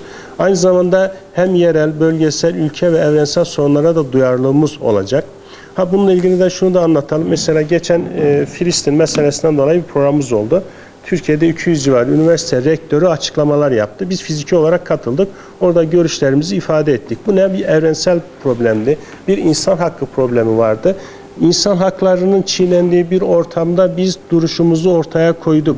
Biz sesimizle, gücümüzle, yazımızla, duruşumuzla dedik ki biz mazlumun yanındayız, zulmün karşısındayız. Bu yönüyle de biz evrensel sorunlara duyarlı olduğu olan bir üniversite anlayışını da e, canlı bir şekilde orada sergilemiş bulunduk. Geçmişimizi unutmayacağız. Niye? Çünkü biz bir milletsek bir kültürümüz var. Bu kültür de yüzlerce yıllık süreçlerden gelen bir kültür. Bu nedenle biz köklerimizi, e, tarihimizin unsurlarını, medeniyetimizin unsurlarını asla göz ardı edemiyoruz. Bunun için önemli olan iki tane merkezimiz var. Biri Türkiye Enstitüsü. Türkiye'de sadece 8 yerde olan bir enstitümüz var. Zamanında kurulmuş. Allah razı olsun diyoruz. Biz bunlarla Orta Asya'ya, Türk dünyasına açılacağız inşallah. Özellikle Yunus Emre, Hacı Bektaşi Veli e, ve aynı zamanda Ahi Evran'la ilgili etkinliklerimizi de biz bu kapsamda yapacağız. Bir diğer merkezimiz ise çok önemli bir merkezimiz. Nerede paylaşıyorsam dikkat çekiniyor. Darul Hadis İslam Araştırmalar Merkezi. Dolayısıyla Çankırı niye bizim için önemli? Çünkü Çankırı bu medeniyetin tohumlarının atıldığı yerlerden biri Çankırı. Tür, Anadolu'nun ilk Darul Hadis'inin kurulduğu bir yer. Şifahanesiyle birlikte kurulduğu bir yer. Dolayısıyla hem sağlık alanında hem İslam araştırmaları alanında, alanında ikisini birleştiren bir konuma bir potansiyele sahibiz. Bu nedenle biz Darul Hadis İslam Araştırmalar Merkezi'ni dünyaya açılan, ümmet coğrafyasına açılan bir kapı ve bir pencere olarak görüyoruz. Orada etkinliklerimizi buna göre ayarlıyoruz. Yerelleşmeden, yerelin dinamiklerinden de istifade ederek ulusal bir bakış açımız olacak inşallah. Bunlarla ilgili bazı toplantılarımızı şu an online olarak gerçekleştirdik. Sağ olsun eski Diyanet İşleri Başkanımız Mehmet Görmez Hocam çok iyi bir sunum yaptı. Bizi des, bize destek verdi. Sizlere selam söyledi. Çankırı'nın ne kadar önemli olduğunu bir kez daha kendileri anlattı. İşte geçen Ali Erbaş hocamızla da görüştük. Onun da sözünü aldık. Eğer pandemi süreci daha da güzelleşirse inşallah yerinde yoksa yine online konferanslara da Ali Erbaş hocamızla devam edeceğiz. Bir diğer husus biz şu an Darul Hadis Merkezi'nin açılışını yapmadık. İlerleyen dönemlerde ayarlayabilirsek Sayın Cumhurbaşkanımızın, Sayın YÖK Başkanımızın katılımlarıyla da aynı zamanda bu açılışı da yapmak istiyoruz. Bu Çankırı'nın da tanıtımı noktasında iyi bir adım olacağını düşünüyoruz. Evet, etik değerlerimize bağlıyız. Biz değerler bizim için önemli. E zaten öğrenciyi öncelediğimizi ifade ettik. Bunu da işte dinamikler konusunda öğrencilerin beklentilerinin karşılanması için fikir alışverişinde bulunmak, ona göre adım atmak şeklinde de ortaya koyduk. Engelsiz bir üniversite olma ile ilgili çalışmalarımız var. Bazı bölümlerde biz uluslararası standardı yakalamışız. Ulaşılabilir engelsiz bir üniversite bayrağını da geçmişte taşıdık. Ama bu yılda bunu yaygınlaştıracağız. Diğer bölümlerde de bunu inşallah ön plana çıkaracağız. Evet, şimdi e, bizim bir manevi noktamız var. İşte bu manevi dünyamızda kültür dinamiklerimiz var, tarihimiz var, değerlerimiz var. Bunları paylaştık. Bir de bizi işte şu an fiziki olarak ayakta tutacak, fiziki olarak çalışmalarımızı destekleyecek bir alanımız var. O da ne? Yapı İşleri Teknik Daire Başkanlığı'yla yapmış olduğumuz, gerçekleştireceğimiz projeler. Şimdi bir toplantı gerçekleştirdik. İdari personellerle ilk toplantımızı Yapı İşleri Teknik Daire Başkanlığı bünyesinde gerçekleştirdik. Çok değerli, çok kaliteli insan kaynağımız var. 15'e yakın mühendisimiz var aktif olarak devam ediyor. Ama tek eksik olan nokta şuydu. Bunların potansiyelini bir araya getirecek bir yönetim anlayışı yoktu. O yüzden hemen ilk toplantımızı biz bunlarla bir araya gelerek toplantımızı, beklentilerimizi, düşüncelerimizi ifade ettik. Toplantımızı gerçekleştirdik. Niye yapı işleri önemli? Birazdan geçeceğiz. Anlatacağız size yapı işleriyle ilgili çalışmalarımızı. Enstitüler ve araştırmalar, e, araştırma merkezlerimiz. İşte Türkiye Enstitüsü aktif halde olacak. Ee, daha önce de Türk dünyası ile ilgili çalışmaları olan, uluslararası düzeyde 6-7 tane dil bilen Profesör Doktor e, Arvas hocamız, e, Abdüselam Arvas hocamızı biz Türkiye Enstitüsü'nün başına getirdik. Hocamız da ilk çalışmalarına başladı. İnşallah önümüzdeki süreçte bu çalışmalarını da sizlerle birlikte paylaşacağız. Evet, Sosyal Bilimler Enstitüsü'nü daha aktif hale getirdik. Ee, bu hususta özellikle e, merkeziyetçi bir yönetim anlayışına sahip olmadığımızı deklare ediyoruz. Gittiğimiz her yerde şunu söylüyoruz. Ana bilim dallarının, bilim kurullarının belirlemiş olduğu şartlar içerisinde biz bir yönetim anlayışı sergileyeceğiz. Yani 3-5 kişinin rektörlük makamında olup şunu yapacaksınız, bunu yapacaksınız dediği anlayışla biz başarı elde edemeyiz. O yüzden bizim potansiyelimizdeki, elimizdeki insan kaynaklarına göre ortaya koyacağımız bir yönetim anlayışının olduğunu her fırsatta vurguladık. Bu noktada enstitülerimiz de uluslararası öğrencilerimizi de barındırdığından, eğitim öğretimlerini yaptırdığından dolayı önemli olan merkezler onlar da çalışmalarını arttırarak devam ettiriyorlar. Ee, Darul Hadis İslam Araştırma Merkezi'ni anlatmıştım sizlerle. Ondan yönetim kurullarıyla sık sık bir araya geliyoruz. Ee, ve Darul Hadis İslam Araştırma Merkezi'nin de bilimsel bazda ilk dergisini de çıkaracağız inşallah. İlerleyen dönemlerde uluslararası uluslararası hakemli indekslere giren bir dergi olacak. Evet, yani hiçbir şey olmasa Darul Hadis bizim için yeter. Açıkça söyleyeyim. Bizim için ne kadar önemli olduğunu ifade ediyorum. Yani bu hususta özellikle resmi gazetede e, alınan karar gereği bize verilmesi bir emanet olduğunu gösteriyor. Dolayısıyla biz bu emaneti en iyi şekilde değerlendireceğiz. E, şu aşamada e, Darul Hadis'in yakınındaki yerlerde acilen bir peyzaj ve çevre düzenlemesine ihtiyacımız var. Bunu buradan sizlerle paylaşıyorum. Çünkü oranın bir manevi ortamı var, bir tarihi dinamiği var. Bu manevi ortamın olduğu yerlerde işte insanların gelip işte adamı muaşerete aykırı olacak şekilde oturmaları, kalkmaları, yemeleri ve içmeleri bizi rahatsız ediyor. O yüzden biz e, şu an kurumlarla görüşüyoruz. Oranın etrafını biraz daha böyle e, kendimizin rahatlıkla çalışabileceği şekilde bir düzenlemeye tabi tutuyoruz. Çünkü merkez bize verilmiş, etrafın bir kısmı Orman İl Müdürlüğü'ne bağlı, bir kısmı belediyeye bağlı, bir kısmı il özel idareye bağlı. Orada bir şekillenmeye ihtiyaç var. Biz kısa vadede bunu çözmek için adımlarımızı attık ama ilerleyen dönemlerde sizlerin bu konuda yapacağı programlara ve önerilere bizim ihtiyacımız var. Evet, Darul Hadis ile ilgili zaten bilgileri daha önce vermiştik. Sizler de biliyorsunuz. Bunları geçelim. Evet, e, şimdi şu an Darul Hadis merkezimizde devam eden programlarımız var. E, Arapça fıkıh, kelam okumalarımız, okumalarımız var. Tefsir okumaları devam ediyor. Hadis okumalarımız devam ediyor. Aynı zamanda Darul Hadis konferanslarımız da aylık bir şekilde devam ediyor, düzenli bir şekilde. Evet, şimdi enstitüler ve araştırmalar, araştırma merkezleriyle ilgili bir hususiyeti ifade edeyim. Şimdi e, bizim yıllardan beri üzerinde durduğumuz bir husus vardı. Neydi? Kadınlar konusunda pozitif ayrımcılık yapacaktık. Dolayısıyla e, kadınları güçlendirecektik. Ama geldiğimiz noktada kadının güçlü olduğu bir aile bize katkı sağlayamıyor. Bizim dinamiklerimizi yansıtamıyor. Beşeri sermayemiz olan nesilleri en etkin şekilde yetiştiremiyor. O yüzden dedik ki sadece kadının merkezde olduğu bir anlayışla değil, aynı zamanda aile fertlerinin de merkezde olduğu bir anlayış içerisinde hareket edelim. Planımızı, programımızı ona göre yapalım ve kadın çalışmaları uygulama araştırma merkezini değiştirdik. Aile ve kadın uygulama araştırma merkezi olarak kurduk. Niye? Çünkü önceden sadece kadınların olmuş olduğu bir merkezdi. İster istemez kadınların olduğu bir merkezde de bunlara akademik takviye de aldığımızda böyle feminist söylemlere ister istemez gidiyordu. Şimdi bizim yetiştiğimiz kültür ortamında bunları zinde tutacak, değer ortaya koyacak bir merkez haline ne yazık getiremiyorduk. Ama şu an onun adımını attık. Hatta bu hususta YÖK Başkanımızın da tavsiyeleri oldu. Özellikle e, aile ve kadın uygulama araştırma merkezini kurduk. Şu anda da YÖK'e gönderdik yönetmeniyle birlikte. E, kabulünü aldığımızda yine sizlerle bu hususu paylaşacağız. Ve bu merkezimizin içerisinde sosyoloğumuz var, psikiyatristimiz var, İslami ilimlerden değerli hocalarımız var. Aynı zamanda halk sağlığında uzman hoca, arkadaşlarımız, hocalarımız var. Ee, sosyoloji alanında uzman olan arkadaşlarımız var. Çünkü aile bir bütün ve hatta ben aileyi şu şekilde ifade ediyorum. Bir milletin en küçük teşekkülüdür aile. O yüzden aile ne kadar sağlam temeller üzerinde kurulursa geleceği o kadar sağlam inşa edersiniz, milleti o kadar güçlü tutarsanız, tutarsınız. Bu hassasiyetimi de burada paylaşmak bulunuyorum. Şimdi uluslararası faaliyetlerimize gelelim. Ee, Çankırı Karatekin Üniversitesi uluslararası bir üniversitedir artık. Özellikle Erasmus Plus ve Mevlana değişim programlarını en aktif kullanan bir üniversite. Hatta şu an Erasmus programlarında Türkiye ikincisiyiz. Bu potansiyeli kullanıyoruz. Hatta özellikle idari personelleri dahi değişime tutacak kadar değişime açık bir üniversiteyiz. Hatta hocalarımla paylaşıyorum. Lütfen hocalarımızı gönderin. Dil bilip bilmeleri önemli değil.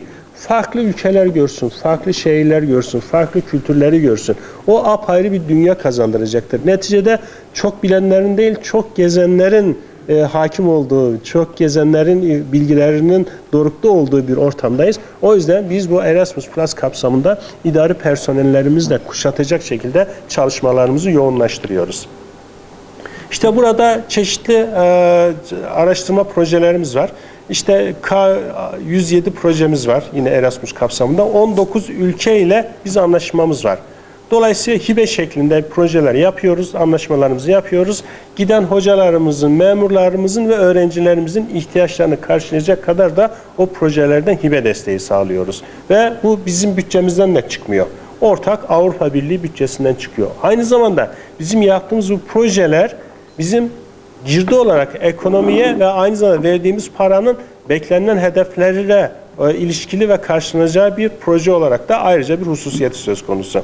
K103 e, Avrupa Birliği hareketliliğinde de yine e, 40. sırada yer almakta. Bu da bizim için önemli bir yer. Şimdi üniversitemize bakıyoruz. Üniversitemiz Almanya'dan Hırvatistan'a kadar, işte İrlanda'dan Polonya'ya kadar geniş bir KA103 kapsamında işbirliğimiz ve çalışmalarımız var. 17 tane ülkeye gidiyoruz. 80 tane farklı üniversite ile öğrenci, akademik ve e, idari personel hareketliliğimiz söz konusu. Bu bizim uluslararası profilimizi ifade etmesi bakımından önemli. Evet, yeni dönemde ne yapacağız? Yeni dönemde 100 tane yine personelimizi Erasmus kapsamında ya ders verme ya da eğitim almaya göndereceğiz. 150 öğrencimizi yine Erasmus ve öğrenim hareketine dahil edeceğiz. Yine 70 öğrencimizi ise staj hareketliliğine dahil edeceğiz. Bunlar şu an devam edenler ama biz özellikle uluslararası ofisimizi daha aktif hale getirerek bu programlardan daha fazla faydalanmayı düşünüyoruz. Hatta onunla ilgili e, rektör yardımcısı hocamız başkanlığında da çalışmalar yoğun bir şekilde devam ediyor. Bakın şunu samiyetimle söylüyorum. Yönetim ekibi olarak biz çok az uyuyoruz.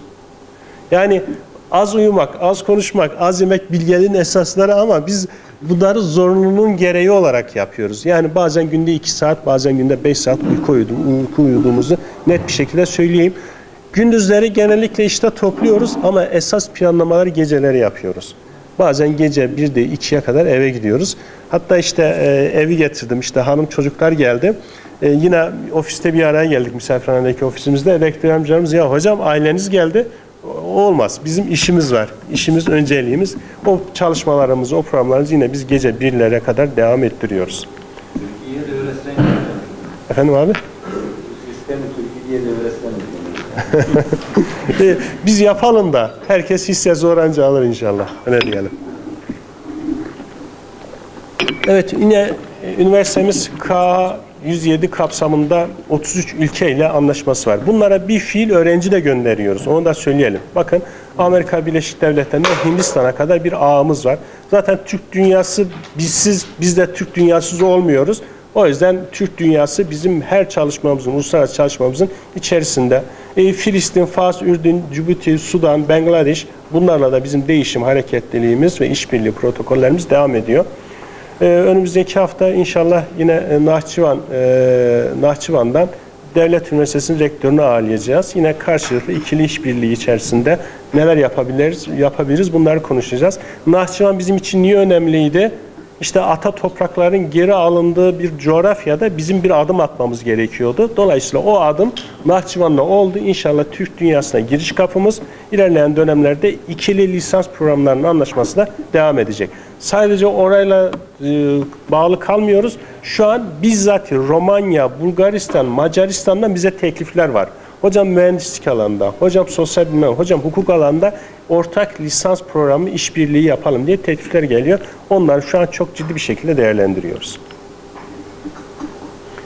Evet.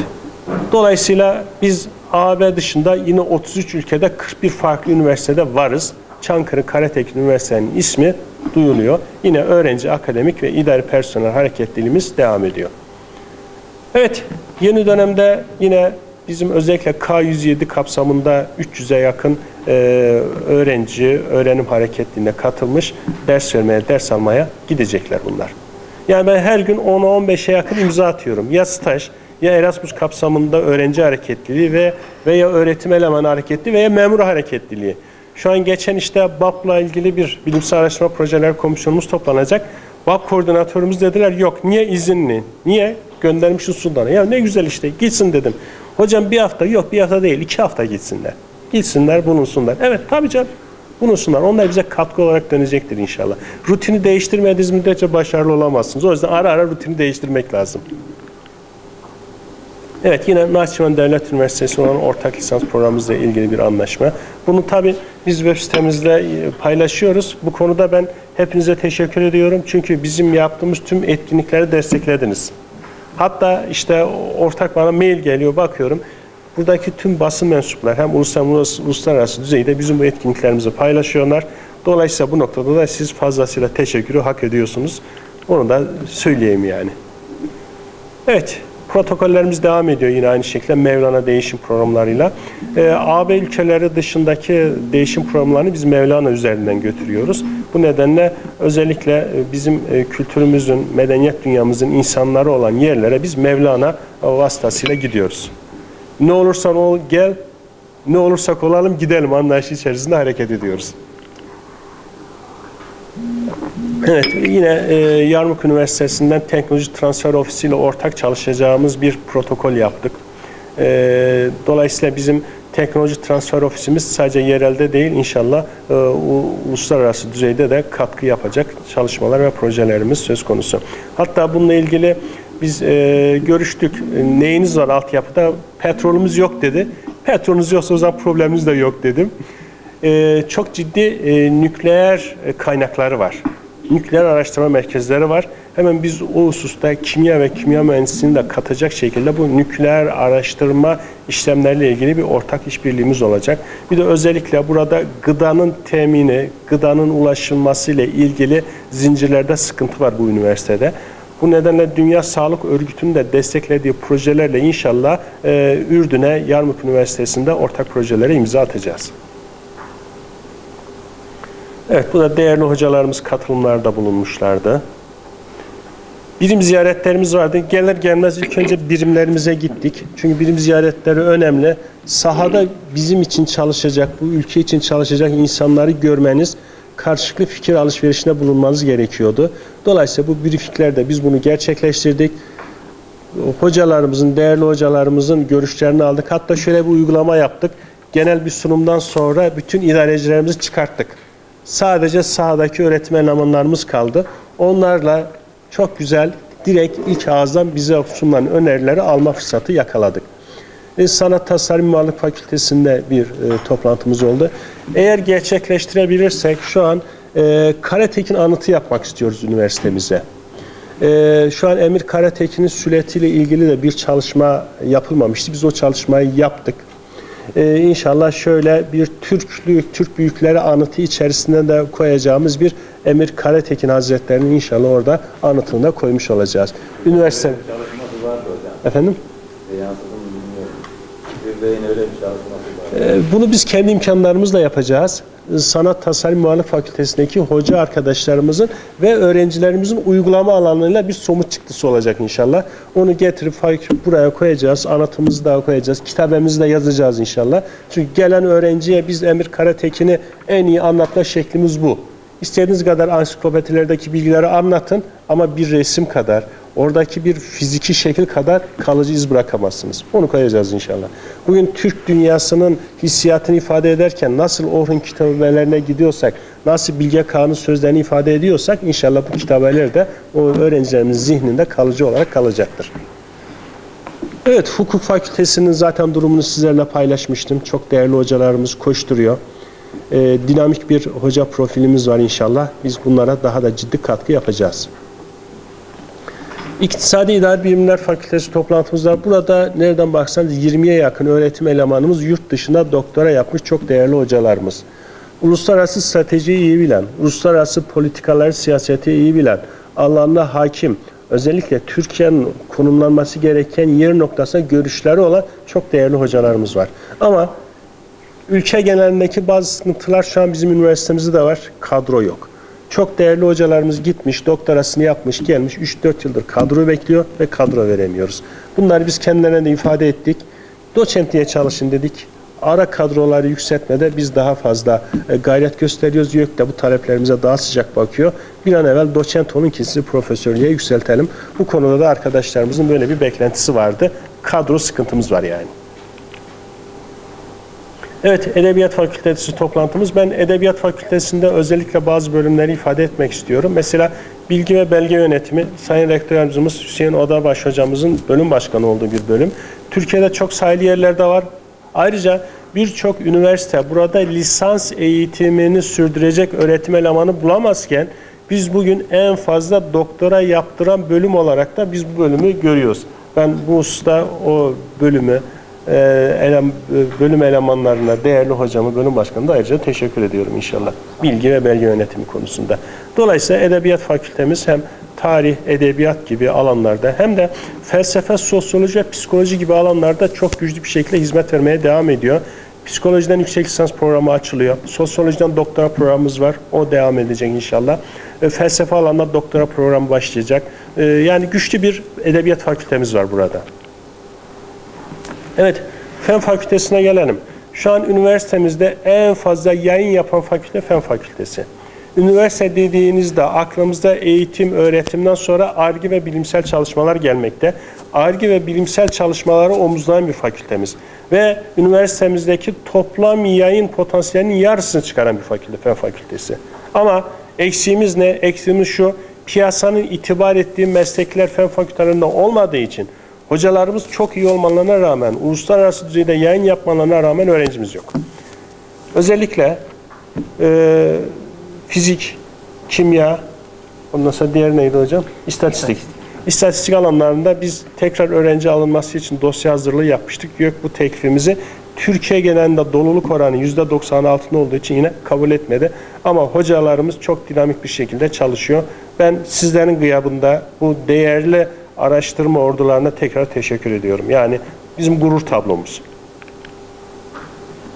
Evet, mühendislik fakültemiz. Mühendislik fakültemizle ilgili altyapı sıkıntılarımız var. Birazdan göstereceğiz. Çok müthiş projelerimiz var mühendislik fakültesiyle ilgili. Dolayısıyla mühendislik fakültesi de bizim gelişme olanağı olduğumuz yerler.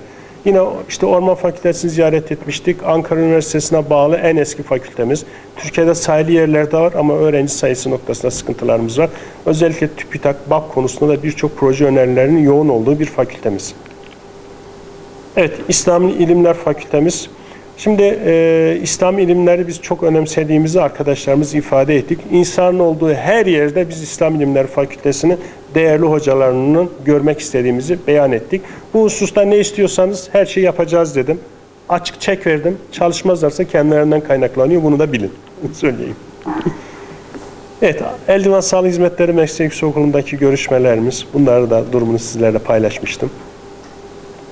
Evet, Filistin için adalet ve insan hakları çağrısı bildirisine basın toplantısına fiil olarak katıldık. Düşüncelerimizi haykırdık arkadaşlar orada. Yine üniversitemiz tarafından eğiticilerin eğitimi kapsamında yine eğitim liderliği seminerlerimizi online olarak yapıyoruz. Toplantılara katılıyoruz. Yine e, Mehmet Görmez hocamızı misafir etmiştik. Bunu da anlatmıştık. Onların da sizlere çok selamı vardı. İnşallah bir müsait bir zamanda Çankırı'da ağırlayacağız kendisini. Evet, yine Erasmus KA 103 ve 107 hareketliklere ilgili bilgilendirme toplantılarımız devam ediyor. Evet, Sağlık Bilimleri Fakültesi'nde özellikle çocuk gelişim bölümü tarafından sem yapılan sempozyumlara fiil olarak katılıyoruz. Onları da destekliyoruz. Yine Eldivan Sağlık Hizmetleri Meslek Yüksekokulu'nun sosyal sorumluluk çalışmaları kapsamındaki çalışmalar devam ediyor. Özel bireylerde özel eğitim projesini paydaşlarla birlikte gerçekleştiriyoruz. Topluma hizmet uygulamaları kapsamında. Evet, Tuz Mağaramız. Tuz Mağaramızla ilgili bilimsel çalışmalarımız da devam ediyor.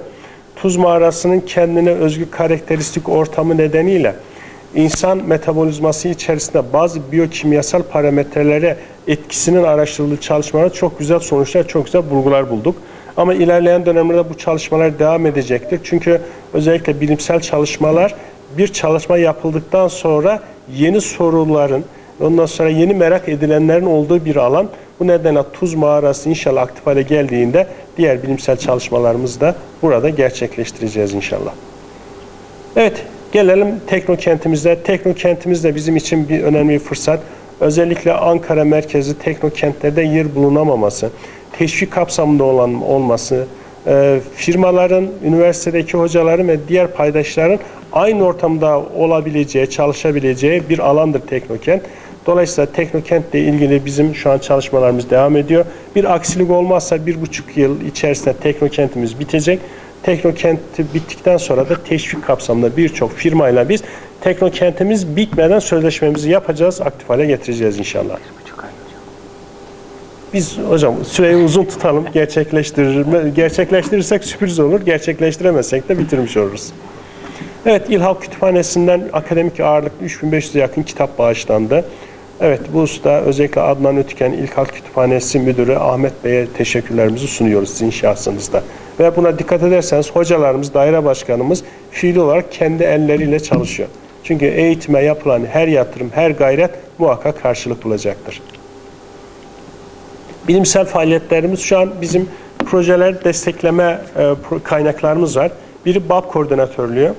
Bilimsel Araştırma Projesi Koordinatörlüğü'nün para kaynağı iki türlü. Bir Maliye Bakanlığı'nın vermiş olduğu kaynak. iki bizim uluslararası öğrencilerden almış olduğumuz harçlar. Ben özellikle hocalarıma da şunu söylüyorum. Hocam bizi destekleyin dediğiniz zaman sizin bu alanlara yatırım yapmanız lazım. Hem uluslararası öğrencilere danışmanlık yapmayacaksınız hem de BAP'tan destek isteyeceksiniz. Bu olmaz dedik. Dolayısıyla burada bir sinerji oluşturacağız. Siz bu öğrencileri yetiştireceksiniz. Bu öğrencilerden harç alacağız. O harçtan da biz bilimsel araştırma projesine katkı sunacağız. İnşallah bilimsel araştırmalarınızı da bu şekilde değerlendireceğiz. Gelir gelmez yine rektör yardımcımız Mehmet Erdem hocamızın başkanlığında 106 tane projeye destekleme kararı verdik. Bu da yaklaşık olarak bütçesi ne kadar Sayın Hocam? 1 milyon 100 bin Evet, 1 milyon 100 bin TL'lik bir proje desteğimiz oldu. Şimdi ilerleyen dönemlerde e, hediyesini söylediğimiz, sürprizini yaptığımız e, diş hekimlik kliniklerini de buradan karşılayacağız. Dolayısıyla çok yüksek bir meblağı da biz buradan oraya aktaracağız. Yeter ki Çankırı'ya hizmet olsun ve o hocalarımızın potansiyellerini değerlendireceğiniz bir ortam olsun. Gelen TÜBİTAK'a, TÜBİTAK projeleri çok önemli. Şimdiye kadar 51 tane proje tamamlanmış ama şu an şimdiye kadar tamamlanan projelerin %15'i kadar da projemiz devam ediyor. Çok güzel projeler. TÜBİTAK projelerin bize katkısı şu, ulusal düzeydeki bir proje kapsamında çok yüklü miktarda bütçeler olan e, projeler bizim altyapımızı, çalışma olanaklarımıza katkı yaptığı gibi o proje kapsamında biz bursiyer de yetiştiriyoruz.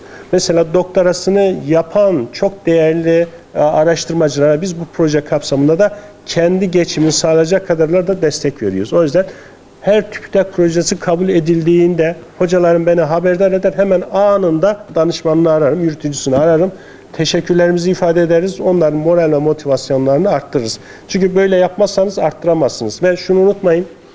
Bir bilim insanını tutmanın en önemli yolu onlara gerekli altyapı çalışma imkanları vermek, iki motive etmek. Ve birçok yöneticimiz motive etme gibi bir son derece maliyeti düşük unsurdan kaçıyorlar. Gidin gönlüne dokunun, o hocaya tutamazsınız asla. İnşallah biz bunları yapacağız. Yapıyoruz da. Evet patentlerimiz. Uluslararası indekslerimizde patentler son derece önemli. 2019 yılında 3 tane patentimiz var. 2020 yılında da 3 tane olmak üzere şu an 6 tane patent. 2021 yılı içerisinde patent başvurularımız yapılıyor ve e, basında da sizlere de paylaştık. İnşallah güzel projelerimiz yine buradan devam edecek. Evet, e, sivil toplum halkla ilişkilere son derece açığız, onu söylüyorum. O yüzden elimizden geldiği kadar tüm toplantılara, tüm protokol görüşmelerine katılıyoruz. Bunları sizler de görüyorsunuz.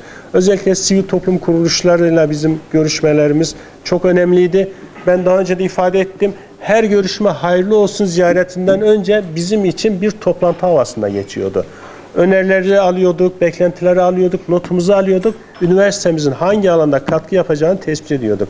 Bu noktada işte yaren derneklerimize de teşekkür ederim. Sayın Reisimizin olduğu derneklerden biri de var burada. Biz işte e, bize verilen kutsal emanetler bunlar. İnşallah birinde yaren bohçamız var. Bunu iyilikle, güzellikle, sevgiyle, merhametle, bilimle dolduracağız.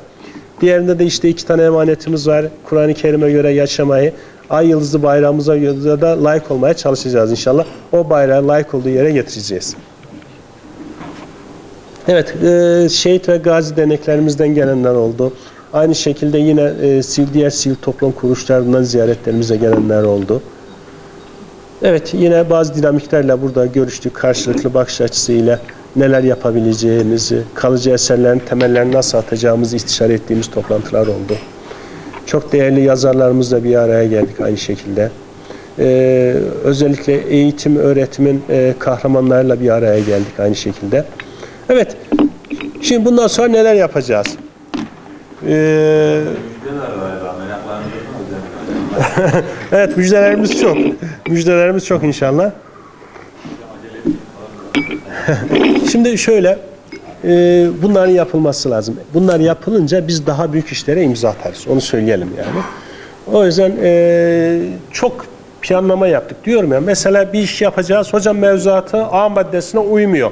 E, B maddesine bu. Hocam bakalım. Geliyorlar hocam diyor B değil de C maddesine uydu. Uysun da. Ama biz bu işi yapalım. İşte gidiyoruz işte Maliye Bakanlığı'ndaki uzmanlarla görüşüyoruz.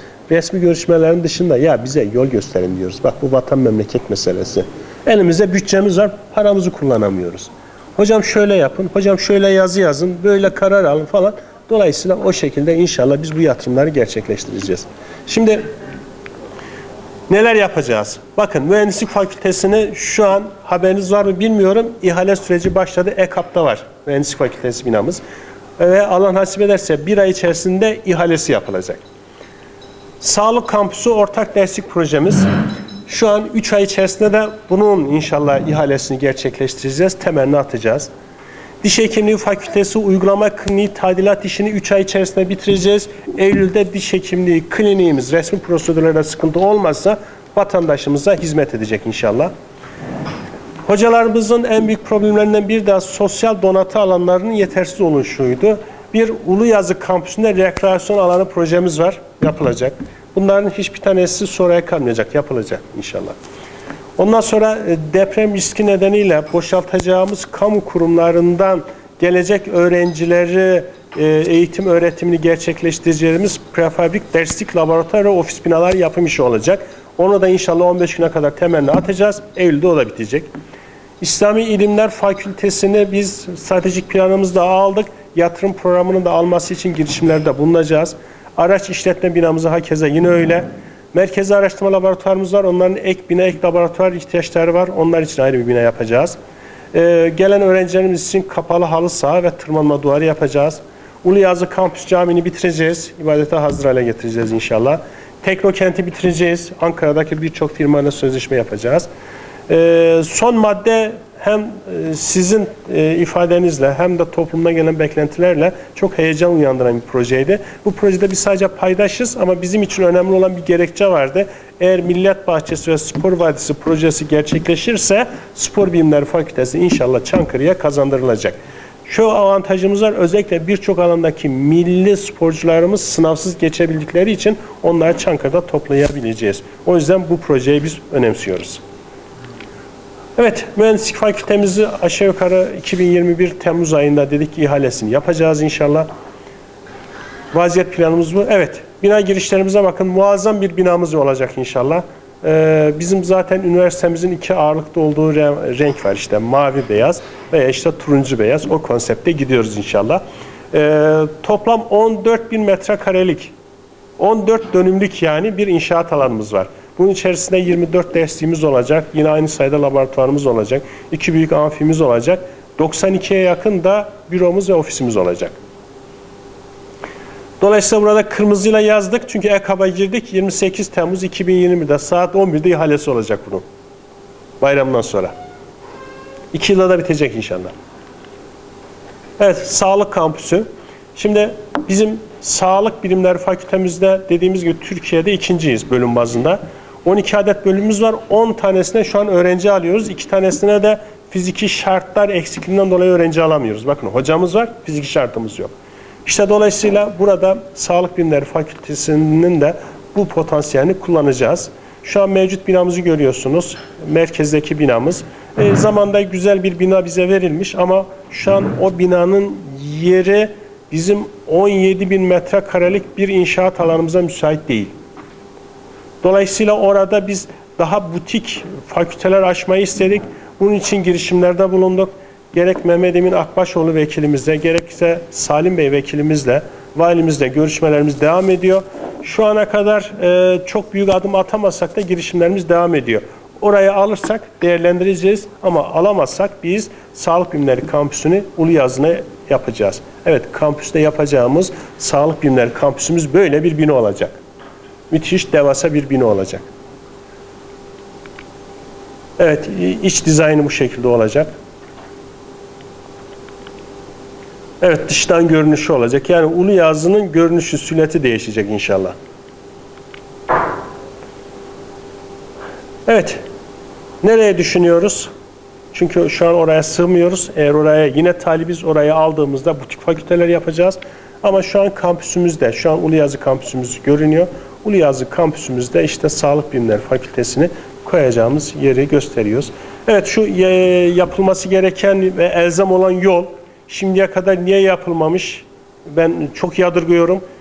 Binalardan önce o yolun yapılması lazımdı. Ulaşabildiğiniz yer sizindir. Ulaşamaz yer size ait değildir. Sizler de not almıştınız. İşte üniversite sınavı yaptık. Yolun yarısı zaten sıkıntılı, tadilatlı. Tek şeritte çok az öğrenciyi burada almamıza rağmen sıkıntı yaşadık.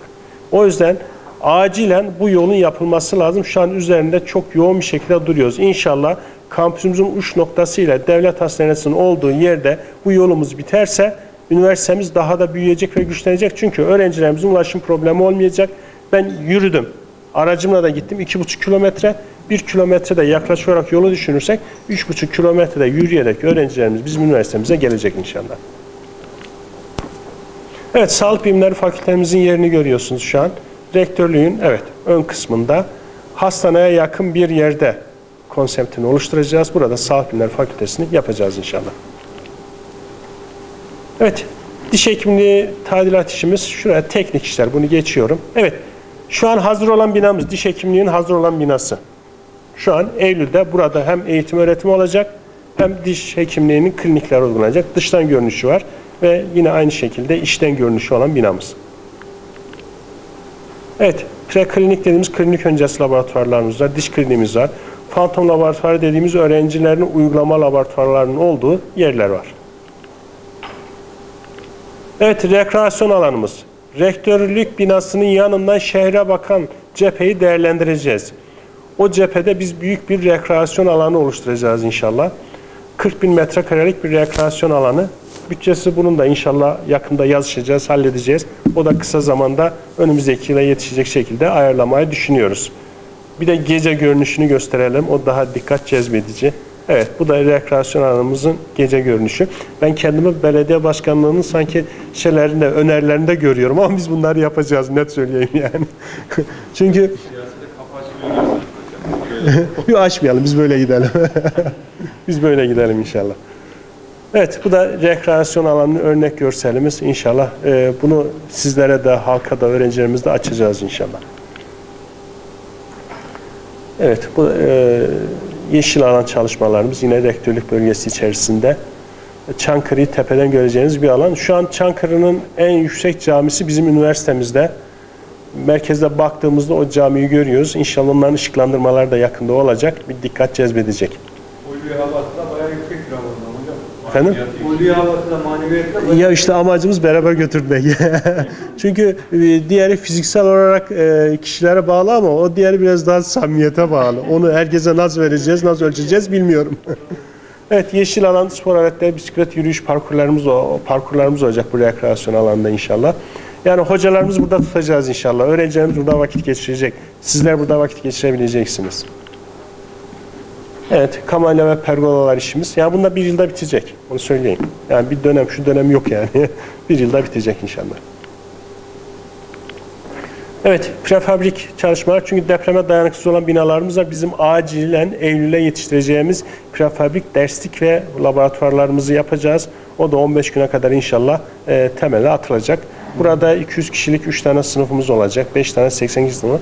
5 tane laboratuvarımız olacak. Yaklaşık bu da 1500 metrekarelik bir prefabrik binamız olacak. İşte bu bina taslak planı. Onu değiştireceğiz inşallah. Evet, İslami İlimler Fakültesine yeni bir bina yapacağız. Ee, çünkü şu an dediğimiz gibi 600'e yakın öğrencimiz var ama halen daha ikinci sınıfımız var. Üçüncü ve dördüncü sınıf gelince bu o binalar bize yetmeyecek. Ve 6000 metrekarelik bir binaya ihtiyaç duyulmakta. Bunun etüt projesini tamamlayacağız. Yapımına hızlıca bir şekilde başlayacağız. Evet, şu an araç işletme binasını görüyorsunuz. Bu konsepte araç işletme binası yapacağız.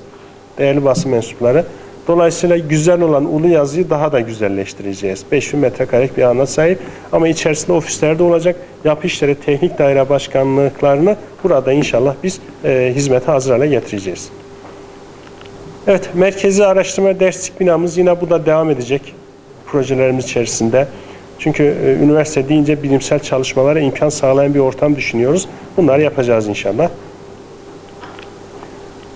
Kapalı halı sahamız, tırmanma duvarımız, evet bunlar da yapılacak. Şu an burada gösteriyoruz. Maddiyattan geldik maneviyata. bu cami bitecek. İnşallah hep birlikte açılışta cuma namazı kılacağız bu camide. Da-? Davet edeceğiz. Cumhurbaşkanımızı davet edeceğiz. Hem camimizi hem Darül Hadis'in açılışı için davet edeceğiz. Çünkü Sayın Cumhurbaşkanımızın e, hafif bir sözü var gibi bakalım. İnşallah anlatacağız. Kesinlikle çünkü onların destekleriyle biz orayı aldık. Evet. ilk yer. İlk yer. Evet.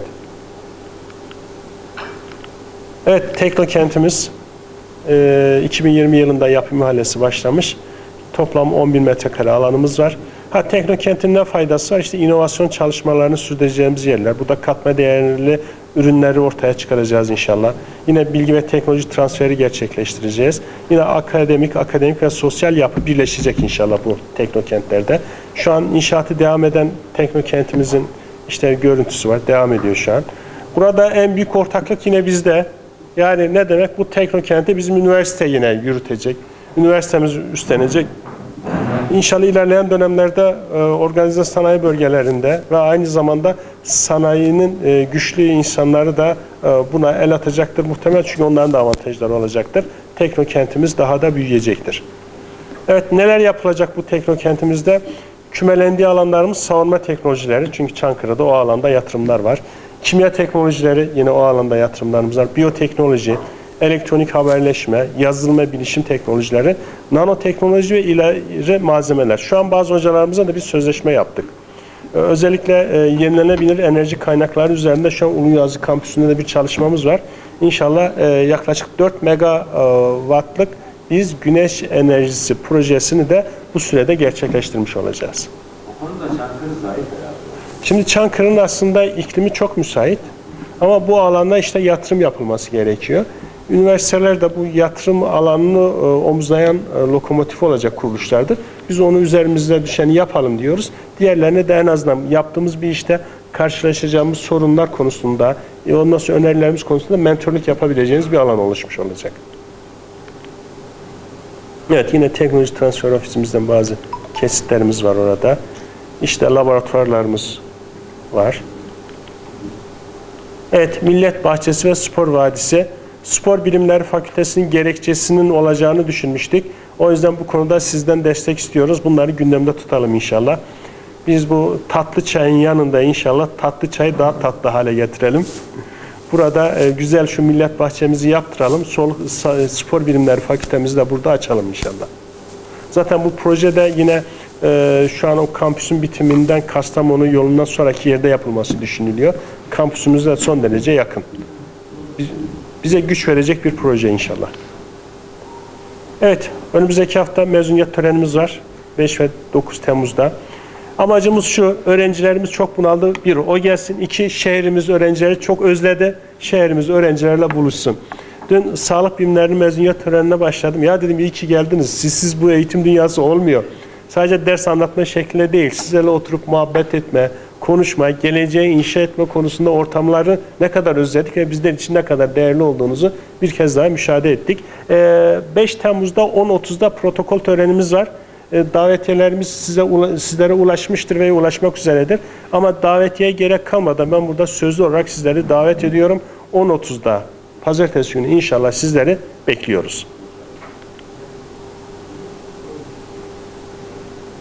Evet. Hepinize teşekkür ediyorum. Söyleyeceklerim bu kadar. Ee, bazı hususlara lisan ettikse de affola. Ee, şimdi siz değerli basın mensuplarının görüşlerini ve sorularını almak istiyorum.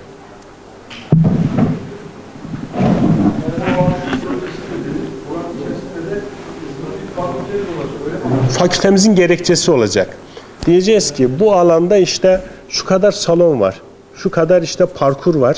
Bu neden açılabilmesi için fiziksel, fiziksel alanlar protokolle işbirliği yapacağımız bir alanda mevcut. Biz de eğitim öğretimini üstlenelim, alalım.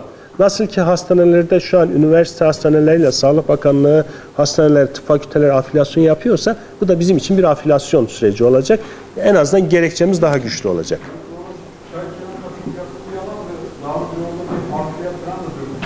Evet. Şimdi bunlar bu şimdi bunların tamamen e, Gençlik Spor İl Müdürlüğü üstlendi bunları. Dolayısıyla zaten bu işlerin yapılabilmesi için zemin etütleri şart. Yani bir halı saha bile yapsan zemin etüdü şart yani. Onlar yapılmıştır ama Çankırı'nın şu sıkıntısı var. E, yapısından kaynaklanan e, bir çözülme var sürekli. Bizim burada da var. Yani tuzla su temas edince çözünüyor. Jips dediğimiz kalsiyum sülfat suyla temas edince çözünüyor. Çözünce biz zemin hareketli oluyor. Ya burada çok sağlam zeminli yer bulamıyoruz ama en azından işte orada fore kazıklarla desteklenecek bir alan oluşturulabilir. O tamamen Gençlik ve Spor İl Müdürlüğü'nün çalışması. Ama bu biterse bizim için çok iyi bir gerekçe olacak. İstiyoruz yani. Sadece çay kenarı değil, başka yerde de olsa bizim için gerekçe olur. Ama işin o kısmı tamamen yerel yönetimlerde, aynı zamanda hükümette. Buyurun Sayın Hocam. Ee, hocam öncelikle hayırlı olsun diyelim göreviniz inşallah ülkemize, devletimize ve şehrimize faydalı hizmetleri yapmak İnşallah. nasip olur.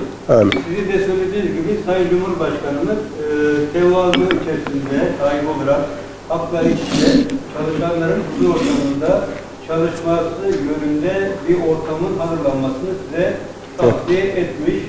E, inşallah halkımızda işçi olacaksınız. İnşallah. Malum olduğu üzere e, Karatekin Üniversitesi'nde bazı çalışanların görevden uzaklaştırıldığı, hatta bazılarının e, belli bir takım isnatlar içerisinde e, görevden işte maaşlarının üçte ikisini alarak uzaklaştırıldığı yönünde bilgiler var. Bu çalışanlar hakkında iyileştirme olacak mı? Bu vatandaşların çalışanların göreve dönmesi sağlanacak mı? Ee, üniversiteler, bağımsız kurumlar ve e, Çankırı Karatekin Üniversitesi'ne devletimiz 200 milyon liraya yakın e, bir e, kaynak çıkarttı bu sene. E, İslam Bilimler Fakültesi dedik, İslamiyet dedik, cami dedik. Hazreti Peygamber'in buyurduğu üzere yakını Fatıma, Beytül Mal'a uzanan el senin eline olsa keserim buyuruyor. Haksız ranta göz yumacak mısınız? Yolsuzluğa ve usulsüzlüğe müdahale edecek misiniz? Evet, çok teşekkür ediyorum. Tabii biz hassasiyetlerimizi ifade ettikten sonra sizin bu sorunuz bizim hassasiyetlerimizi daha da önemli hale getirdi. Şunu söyleyeyim. Şimdi biz göreve geldiğimizde özellikle yapı işleri daire başkanını çağırdık. İhalelerimizi açık ihale şeklinde yapalım. Özellikle çok yüksek bütçeli ihalelerimizi. Zaman noktasında bizim aleyhimizde oluyor. Ayrı mesele ama biz e, politikamız şu. Şeffaf, denetlenebilir, katılımcı bir yönetim anlayışı sergilemek. O yüzden bu saymış olduğumuz ihaleleri açık ihale yapacağız. Dolayısıyla devletin belirlemiş olduğu kriterlere göre uygun teklif verenler bu işi alıp yapacak, götürecek. Gelelim diğer meseleye. Şimdi e, biz çok iyi bir e, yönetim sergilemek zorundayız. Çünkü şu an büyük yatırımlar yapılıyor. Bu ülkenin kaynaklarını en verimli şekilde kullanma mecburiyetindeyiz. Bu hem resmi olarak bizim bir görevimiz hem manevi olarak bir görevimiz. Dolayısıyla bu hassasiyete son derece dikkat edeceğiz. Kişilere şu olsun, bu olsun, bilmem ne olsun diye baskı asla yapmayacağız. Teknik şartnamelerimizi net bir şekilde ortaya koyacağız. O teknik şartnamelere uyan, en uygun teklifi veren firmalarla biz bu işi yürüteceğiz inşallah. Ee, gelelim diğer hususa. Şimdi bu üniversitemiz çok ciddi bir soruşturma süreci geçirmiş. Çok ciddi manada ihraçlar olmuş. Bu nedenle devletin hassasiyeti birinci derecede bizim hassasiyetimizdir. FETÖ başta olmak üzere ülkenin birliğine, devletin bütünlüğüne aykırı hareket eden tüm teşkilatlar burada asla büyüyemeyecektir. Karşılarında bizi bulacaktır. Biz bu konuda mücadelemizi net bir şekilde ortaya koyacağız. Tabii? Tabii bunu ortaya koyarken de yürürlükteki mevzuata, hukuka ve vicdana göre hareket edeceğiz. Onu net bir şekilde söyleyelim. Bu süreçler hepsi daha önce başlamış. Ben geldiğimde sonuçlanmış dosyalar vardı, devam eden dosyalar vardı. Ve özellikle de şunu ifade ettim. Keşke bu dosyalar daha önce sonuçlansaydı. Niye? Çünkü bir süreç var. Kişilerin ne yaptığı belli, ne oldukları belli, bir tanıma süreçleri var. Dolayısıyla hukuki mevzuat süreçleri var. Hepsi belli. Keşke değerli hocalarımız bir önceki yönetim bunu bitirselerdi. Ama biz yeni geldik. Dolayısıyla bu dosyaları bir takvimde bitirmek zorundayız. O yüzden bir e, komisyon oluşturduk. İşte e, soruşturma komisyonu. Bu komisyonumuza çok değerli hocalarımızı özellikle koyduk. Hassasiyetlerimizi de ifade ettik. Somut bulgular ışığı altında vicdani kanaatinizi kullanın dedik. Vermiş olduğunuz karar benim kararım. Çünkü ben kalkıp da şu şöyle olsun böyle olsun demeyeceğim diyemem de. Niye? Kimseyi tanımıyorum. Dolayısıyla en sağlıklı objektif durum ne? İyice sorgulama süreçlerinden geçildikten sonra verilecek komisyon kararımız. Dolayısıyla bu komisyon kararlarımızın doğrultusunda e, biz gerekli hukuki işlemleri yaptık. Bir kısımları ileri hukuki süreçler için üst makamlara intikal ettirildi. Bir kısmı başlatıldı. Bir kısmının da soruşturması devam ediyor. Dolayısıyla bu süreçler dediğim gibi yürürlükteki mevzuatlar, devletimizin hassasiyeti ve vicdani kanaatlerimiz ön planda olacak şekilde yürütülüyor. Eyvallah. Teşekkür ediyorum. Geçtiğimiz dönemlerde sizin sunumunda bahsettiğiniz gibi sağlık bilimlerine e, önem veriyorsunuz. Evet. Ulaştığınız sağlık konusunda. E, üniversite eğitim düşünüyor musunuz? Evet. Yani bu süreçte için böyle bir başka bir şey. Evet, şimdi e, tıp fakültesi öğretim üyesi olarak gittiğim her yerde bu zaten bana soruluyor. Şimdi e, bizim üniversitemizin e, yatırımları var. Bu yatırımları gerçekleştirmemiz gerekiyor kısa vadede. Sağlık alanında Sağlık Bilimleri Fakültesinin binası olmadan, diş hekimliğinin klinikleri olmadan biz tıp fakültesiye nereye gidersek gidelim kapı yüzümüze kapanırdı.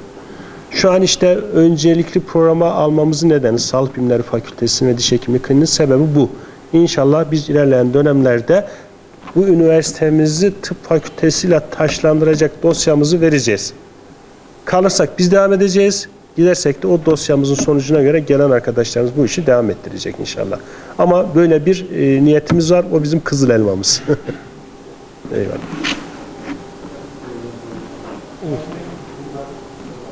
Tamam, sorun. Ramazan Sarı'da Cemil Hanım Ajansı bizim Çankırı'da malum. Ee, hocam, yanlış tarihte bahsettiniz de, göreve geldiğiniz ilk başta üniversiteyi incelediniz, yeni yollarına çalışma yaptınız. Gelişmenin bu konuda hakkında düşünüyorsunuz, yani olarak uygun bir yerini. Ee, biz de sonunda içerilerinden de bahsettik, meyve olarak. Evet. Siz öğrenci olsaydınız, bizim bir şeyden gelen bir öğrenci olsaydınız, Çankırı'da içeri okumak isterdiniz. Evet. E, Güzel sorular bunlar. E, Az çok bizim bakış açımızı da ifade edecek. E, kampüsün yeriyle ilgili neticede bir yer seçilmiş. Yatırımlar yapılmış. Şu an 800 milyonluk bir yatırım var burada. Dolayısıyla bu yatırım da çok güzel altyapısıyla birlikte ortaya konulmuş. Kampüsün yeri uygun muydu? E, Yani o kişiden kişiye göre de değişir. Vatandaşın beklentilerine, taleplerine göre de değişir. Uzmanların görüşüne göre de değişir. Dolayısıyla o konuda bizim çok fazla yapacağımız bir hususiyet yok. Biz elimizdeki imkanlara göre proje hazırlamak zorundayız. Şu anki Uluyazı kampüsü bize emanet edilmiş. Burayı en iyi, en verimli bir şekilde değerlendirmenin yollarına bakacağız. Çok güzel yatırımlar da yapılmış. Yeri iyi miydi bilmiyorum ama şu an kampüsümüz çok güzel. Onu söyleyeyim. Özellikle dışarıdan gelen misafirlerimize ben gezdiriyorum.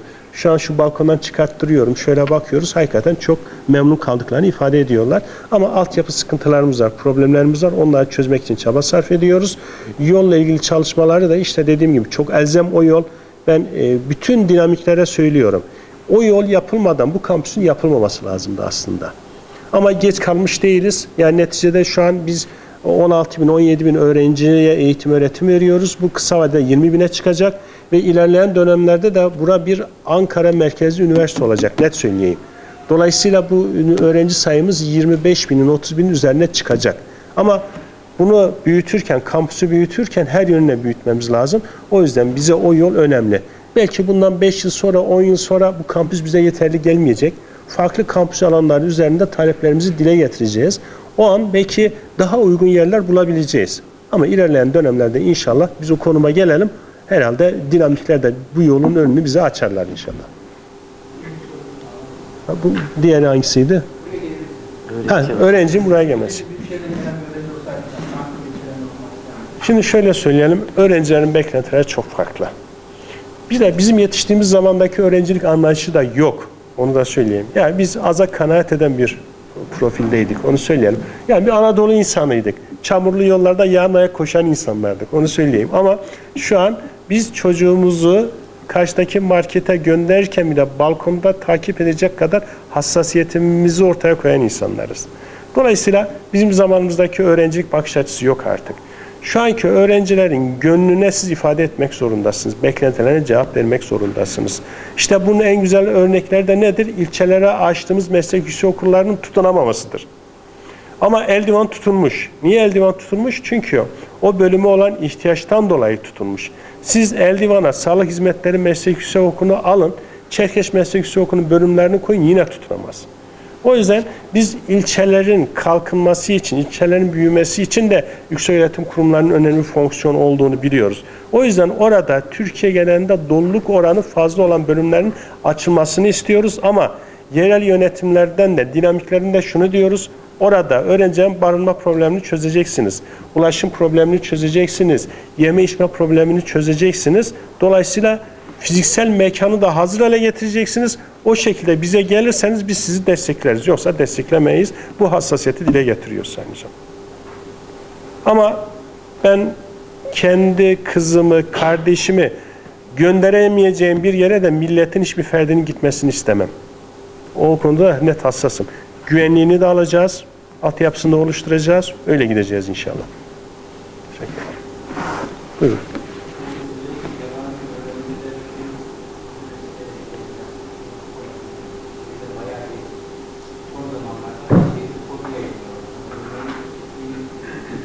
Paraların dönüyor. Türkiye'ye yapıldı. Hatta eski rektörü bir şirket var aslında İstanbul'da. Ondan doğrudan veya dolaylı yönden bağlantı oldu. Yani yabancı öğrencilerin ülkede bu şirket aracılığıyla sürüklendiği bir pozisyonu geliştiriyor. Bu yönde e, size gelen herhangi bir şey var mı? Varsa bu konuda herhangi bir araştırma yapacak mısınız? Bu birinci soru. İkinci soru ise, siz bayağı güzel fakülteler şunları bunları anlattınız. Şimdi dünya genelinde şöyle bir şey var. Her üniversite mutlaka önce bir logotipi olmak zorunda. Yani o lokomotif diğer tüm fakülteler şunu bunu taşıyor. Çankırı Karadeniz Üniversitesi fakültesi yüksek oluşu bu. Herhangi bir lokomotif belirlenmiş. İşte kimliğiniz, sağlığınız, güzel sanatınız, Evet. tamamıyla Türkiye'de atıyorum. Şekil. Çankırı Karadeniz Üniversitesi. Çankırı Karadeniz. Diğer bütün öğrencilere taşıyabilecek bir lokomotif. Teşekkür ediyorum. İlk sorunuzdan başlayalım. Şimdi Türkiye'de yabancı uyruklu öğrenciler uluslararasılaşması adına en önemli faktör olarak görülüyor. Ee, şu an 200 bine yakın bizim yabancı uyruklu öğrencimiz var Türkiye genelinde. YÖK Başkanı'nın anlattığı verilere göre söylüyorum. Ekonomik olarak bir öğrencinin 2000 veya 3000 dolar harcadığını düşünelim 6 milyar dolarlık yıllık girdisi olan bir sektör.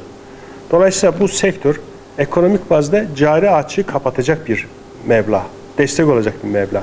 Ama işin bir de eğitim ve kültür boyutu var. Şimdi birçok yabancı enstitü gelirdi Türkiye'de işte şu enstitü, bu enstitü adı altında kendi kültürünü yayacak yerler arardı ve yapardı bunu. Yabancı dil öğretimi adı altında. Ama şu an biz medeniyet coğrafyamızdaki insanlara gitmeden onları kabul ediyoruz. Bu bizim için bir kültür e, aktarım e, vasıtası olarak görülen bir değer. İki, ülkemizin tanıtıldığı bir alan. Üçüncüsü buraya gelen öğrenciler burada yetiştikten sonra kendi ülkelerine döndükten sonra bizim eğitim elçilerimiz olacak. Dolayısıyla biz bunu önemsiyoruz. Bunun da Türkiye'de geliş şekilleri farklı. Birinci gelişimiz neydi? Biz şu an yüksek öğretim portalını kullanarak üniversitemizin kontenjanlarını ilan ediyoruz. Yabancı uyruklu öğrencilerimiz gelirse biz şu şu şu bölümlerden alacağız, şu şu imkanları vereceğiz. Bu yüksek öğretimin tanıtım konsepti. İkinci bir husus şirketlerin, uluslararası şirketlerin devreye girdiği bir alan. Ne oluyor? İşte şirket gidiyor. Kuzey Irak'taki işte bir ilde mesela görüşüyor. Diyor ki ben size sağlık alanında yüksek lisans yaptıracak üniversitelerle işbirliği yapacağım. Kaç öğrencim var? 500 öğrenci. Dolayısıyla o şirket geliyor burada e, yönetimdeki kişilerle görüşüyor. Hocam bizim 500 tane öğrencimiz var. Bu 500 öğrenciyi alır mısınız? Dolayısıyla üniversitede bazı seçme kriterlerini kullanarak bunlara kontenjan ayırıyor. Bu sadece o şirketler bazında değil. Mesela Avrupa'daki Milli Görüş Teşkilatı'ndan tutun da ondan sonra işte Orta Asya'daki başka bir teşkilata kadar bunlar devrede. Bunun uluslararası yönü var. Yani biz buradayız. Çankırı Karatek Üniversitesi'ndeyiz. İşte ne? Ee, Cibuti'deki öğrenci çıksın buraya gelsin. Almanya'daki öğrenci çıksın buraya gelsin. Orta Asya'daki öğrenci çıksın buraya. Yok böyle bir şey. Ya siz gideceksiniz, ikili anlaşmaları yapacaksınız, kendinizi tanıtacaksınız veya uluslararası antlaşmalarla kurulan bu şirketlerle dirsek temasınız olacak. Hocam Çankırı Karatekin Üniversitesi çalışan tarafından Somali'de kurulmuş bir şirket var mı? Bu. Yok, yok, Yok yok. Bizim Sudan'da eğitim e, teslimimiz var. Buraya... Ya şimdi şimdi şöyle söyleyeyim. Yani bu işin bir ekonomik girdisi var. Bunu kimse inkar edemez. Zaten özellikle teşvik edilmesi bir diğer hususu da bu. Ne? Ülkeye ciddi döviz kaynağının girmesi. Evet. E şimdi bu da işte bir diğer boyutta şirketler geliyor. Yani şirketler bunun için önemli bir vasıta. Yoksa biz bu kadar öğrenciyi bulamayız. E şimdi şirketlerle yöneticiler görüştüğünde ne görüşmüş? Hiç bilmiyorum. Net. Bana bu hususta gelmiş olan hususiyetler sadece sözlü bir ifadeler, resmi hiçbir belge yok. Bana dolaylı veya dolaysız olarak gelen hiçbir belge karşılıksız kalmıyor. Hukuk müşavirliğine veriyorum. Hemen gereğini yaptırıyorum. O yüzden diğer yöneticilerimizle ilgili bu hususta sadece söylentiler var. Somut bir bilgi ve belge varsa yok gerekli işlemi yapacaktır. Bunu net bir şekilde söyleyelim. Bizim tavrımıza gelelim. Bizim tavrımız şu, elimizde bir uluslararası öğrenci potansiyelimiz var. Ama bunu sürdürülebilir hale gelmesi lazım. Özellikle lisansüstü eğitimde sıkıntılarımız var, aşmazlarımız var. Nedir bu sıkıntı ve aşmazlarımız? Ben 22 yıllık hocayım. Benim lisans üstü bitirdiğim öğrenci sayısı 17-18'dir. 22 yıllık öğretim üyeliği sürecimde. Ama şu an geliyorum bir hocamızın üzerinde 60 tane 70 tane danışmanlık öğrencisi var. Bir hocamızın. Bu sürdürülebilir bir durum değildir. Bu yapılamaz, bu yürütülemez. Kaldı ki YÖK'ün bir dönem boyunca maksimum belirlediği danışman sayısı, danışman sayısı 14'tür. Ama biz bu 14'ün 5 katı kadar düzeyde bir öğrenci almışız. Şimdi bunun değişik yolları var. Birincisi işte soruşturmalar nedeniyle açık olanda açıkta olan personeller var. Onların danışmanları üstlenmiş. İkincisi ihraç olanlar var. Üçüncüsü bizim üniversiteyi bırakıp başka üniversiteye geçenler var. Dönüşü istifa edenler var. Böyle olunca bu hocaların danışmanlık yaptığı öğrenciler ise diğer hocalara aktarılmak zorunda. Dolayısıyla sürdürülebilir bir lisans üstüne bizim geçmemiz lazımdı. O yüzden nitelikleri ve kriterleri biraz bu yıl arttırdık. Dolayısıyla her yerden gelen Türkçe eğitim belgesini artık kabul etmiyoruz. Ya bizim yaptığımız olacak ya da devlet üniversitelerinin yapmış olduğu sınavda C1 belgesini ibraz edenler Türkçe eğitime devam edecek. Diğerleri ne olacak? Bu belgeyi ibraz edemeyenlere de git demiyoruz. Gelin bizim uluslararası dil ofisimiz var. Yani TÖMER. Orada bir 8 aylık 6 aylık kursumuz var. O kursa gireceksiniz. O kursta bir belge alacaksınız. Alacağınız bu belgeyle siz bizim üniversitemizde Türkçe olarak devam edeceksiniz. Şimdi bunun bir diğer katkısı da şu. Öğrenciye biz dil kursu veriyoruz ya. Öğrenciden ek ücret de alıyoruz. Bu almış olduğumuz ek ücretin %85'i hazineye gidiyor zaten. O %15'lik kısmının %5'lik kısmı döner sermaye aktarılıyor. BAP'a gidiyor. %5'lik kısmını biz alıp derse giren hocalara veriyoruz. %5'lik kısmını da eğitim öğretim için hazırlık gideri olarak veriyoruz. Dolayısıyla bu da devletimiz için bir katkı, bir girdi olarak veriyor. Bu nedenle bizim kriterlerimiz bu yıl yüksek. Hiçbir şirkette görüşmedim. Hiçbir şirkette. Randevu talepleri var. Hocalarım da şahittir. Hiçbir şirkette görüşmüyorum. Özellikle bu süreçlerde görev alacak tüm birimlere hassasiyetimizi ifade ediyoruz. Sakın, buyurun. Ben hiç bilmiyorum. Yüzleşmediğim, ortam sağlamadığım bir hususa kesinlikle yorum yapmıyorum.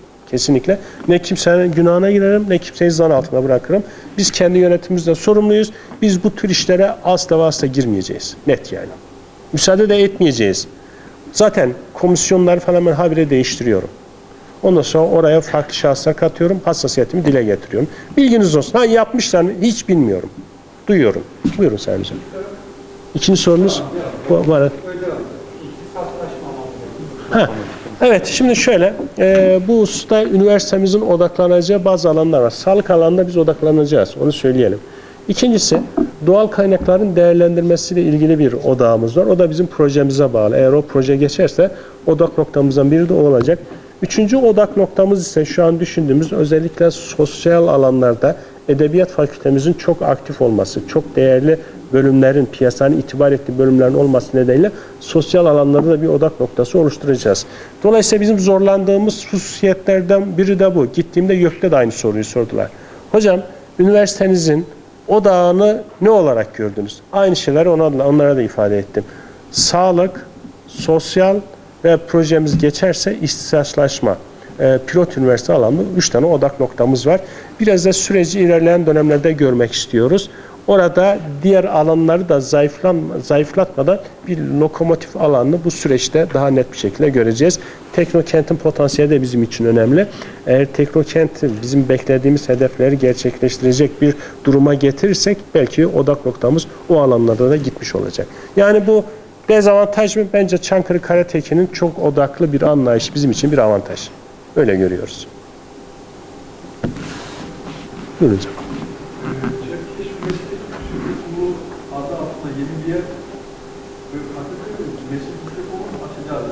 Evet, şimdi Şimdi şöyle dedik ki ilçeler içerisinde Çerkeş en fazla nüfus potansiyeline ve sosyal imkanlara sahip bir ilçe. O ilçede de e, yüksek öğretim kurumunun olması lazım, e, bir kurumun olması lazım. Bu doğrultuda açacağımız bölümler de sağlık alanlarda olursa doluluk oranı yüksek olduğu için oraya öğrenci gelir. Sağlık Hizmetleri Meslek Yüksek Okulu düşünüyoruz. Dosyamızı hazırlıyoruz. YÖK'e teklif edeceğiz. Bunun üzerinde duracağız. İkinci bir sağlık hizmetleri meslek yüksek okuluna müsaade alırsak inşallah orada olacak.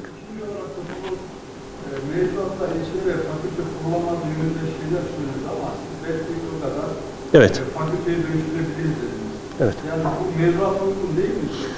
Ya şimdi şöyle, YÖK'ün bir kriteri var.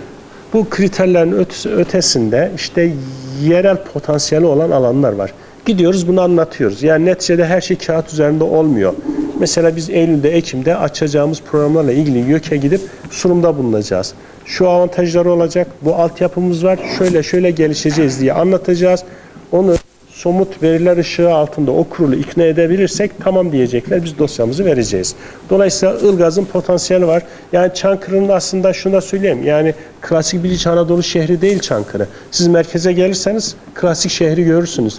Ama 20 kilometre sağa sola giderseniz bu klasik İç Anadolu şehrinden uzaklaşıyorsunuz. Dolayısıyla oradaki iklim, bitki örtüsü farkı bizi çok zinde tutacak alanlar. İnşallah turizm potansiyeli yüksek olan bir Çankırı var. Buna da hep birlikte katkı yapacağız. Eyvallah, eksik olma. Abi buyurun. Hocam bu yarın araştırma merkezi, Evet. ekoloji var.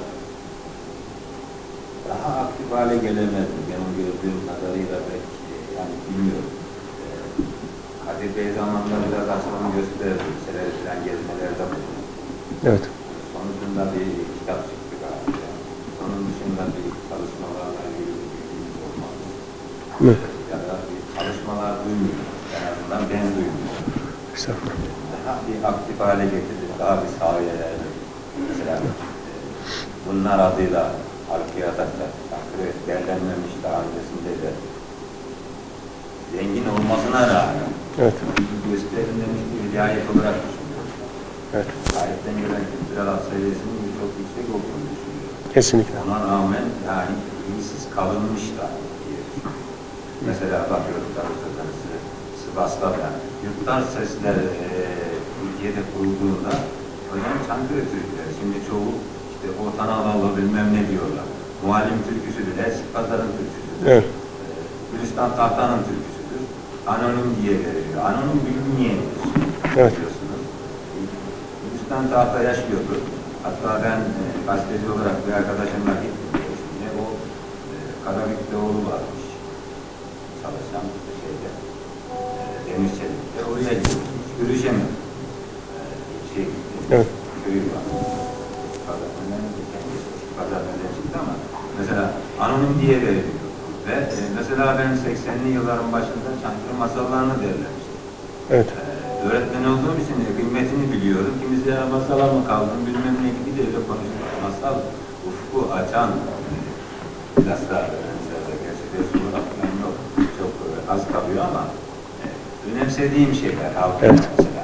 Şu anda kayboldu, kayboluyor. Son e, versiyonlar mesela biz e, İstiklal Savaşı gazilerinin hayatlarını e, gidelim röportaj yapalım, şey yapalım dedik. Bir tanesini yapalım. Abi Ölmüşlerdi.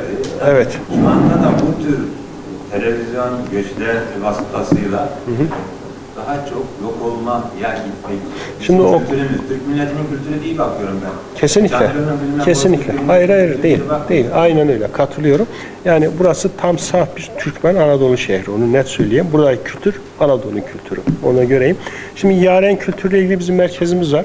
Bunu aktif hale getireceğiz. Ama bu işi yapabilecek bizim merkezlerimiz de var, alanlarımız da var. Şimdi illa da o konuyla ilgili bir merkez araştırma kurmaya gerek yok. Mesela ne olur?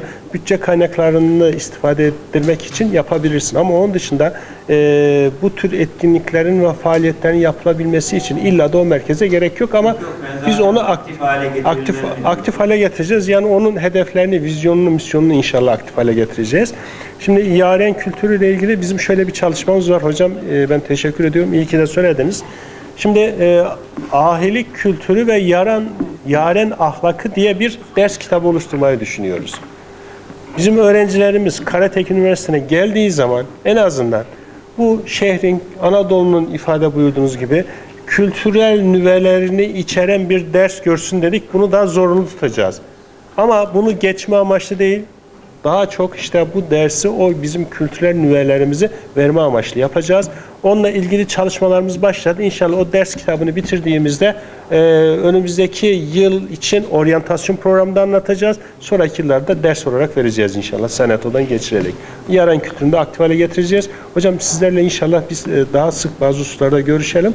E, ilerleyen dönemler için neler yapılabilir onlara da bakalım. Yani bakıyorum bazı güzel eserler ortaya çıkmış. İşte bildiriler düzenli, sempozyumlar yapılmış. Felsefesini aldım. Harikasınız. İstifade ederiz inşallah. O, o ders içeriğine de o zaman sizden katkı sağlamanızı bekleriz. İnşallah hocam. Eyvallah. Bir toplantı dolayısıyla ayrılmak istiyorlarmış. Bir soru daha da bitirebilir miyiz diyenler var. Ee, yani Şey şöyle sorularımızı alalım. Program olan arkadaşlarımızla kaldığımız yerden devam edelim. Sayın Hocam, Sayın Şimdi e, yarından girin doğrudan e, geçmişi eleştirmiyorsunuz ama benim şahsi fikrimi söyleyeyim. Üniversite ile akademik ortam ve halk, üniversite öğrencileriyle şehirdeki öğrencilerin bir kaynaşmasını bana göre ya olmuyor ya zayıf. Şöyle, yaran bir basamak. Bu. Evet. Mesela bir üniversite sanayi işbirliği vardı ama bir kesintiye uğradı. Bunun gibi yani akademik düzeydeki şehirdeki sivil toplum kuruluşlarıyla beraber ortaklaşa bazı projeler olmalı. Yani beraber İnşallah. dediğiniz gibi ikisi beraber olmalı yoksa rakip olur dediniz.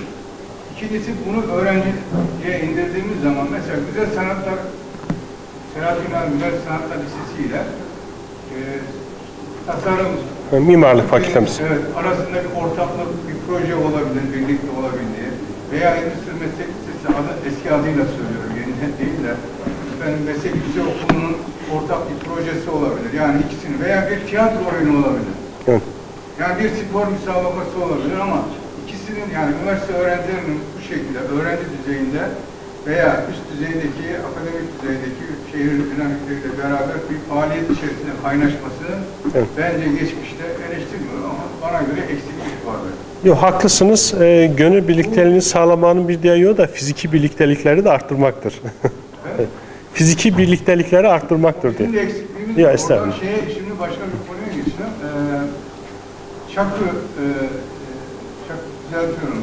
Ee, Çankı Üniversitesi Vakfı 1995 yılında kurulmuş bir vakıf. Sizin dışınızda olan zamanında Çankı Üniversite kurulması için yapılan bir projeydi. Nedat Ayaz'ın başkanlığında rahmetli. Zamanla e, 2007 işte üniversite açtıktan sonra görevini tamamlamış diye bir duraklama dönemine girdi. Ama bu tarihi bir yani bu temelinde olan bir e, sivil toplum kuruluşu zamanla üzerinde durulmadı. Bu sizin şeyiniz değil yani üniversitenin eksiği değil, halkın eksiği. Ya kapandı ya kapanmak üzere. Çankırı Üniversitesi Vakfı. Evet. Şu anda en son bildiğim kadarıyla vali başkanlığında. Tabii bu Çankırı halkının sorumluluğunda olan bir şey ama sizin eğer kapanmadıysa çünkü bu buranın bir manevi şeysi var. Öğrenci kursu için kullanılabilir. Eğer kapanmadıysa, kapanmadıysa tamamen kurs yönde buna bir canlı sağlarsanız Evet. Şimdi e, vakıf bizim e, yönetimimizde değil, Vali Bey'in başkanlığında. Şimdi burslarla ilgili de vakıf üzerinden yine destekler sağlanabiliyor. Ek olarak bizim şu an e, Çankırı Karatekin Üniversitesi Derneği diye bir derneğimiz var. Bu derneğimizin faaliyet alanlarından biri de ilgili öğrencilere burs vermek. Dolayısıyla o kapımız halen daha açık, aktif hale getireceğiz. Biz şimdi şu yolu niye yapmayı istiyoruz? Bu yolu fiziksel olarak şehirle bütünleşmek için yapmak istiyoruz. Yoksa diğer türlü biz öğrencilerimizi ulaşım araçlarına mahkum etmiş, orada yaşatmış oluyoruz. Buradan şehre gidiyor veya hafta sonları Ankara'ya gidiyorlar. Şehirde kalmıyorlar. Dolayısıyla şehirle temasını arttırmak için de o yolun yapılmasını istiyoruz. Bir diğer husus da özellikle biz devletin diğer kurumlarıyla veya STK'larla da işbirliği içerisinde hareket etmek istiyoruz. O yüzden gelen hiçbir teklifi geri çevirmiyoruz. İnşallah o birlikteliği biraz daha fazla yapacağız.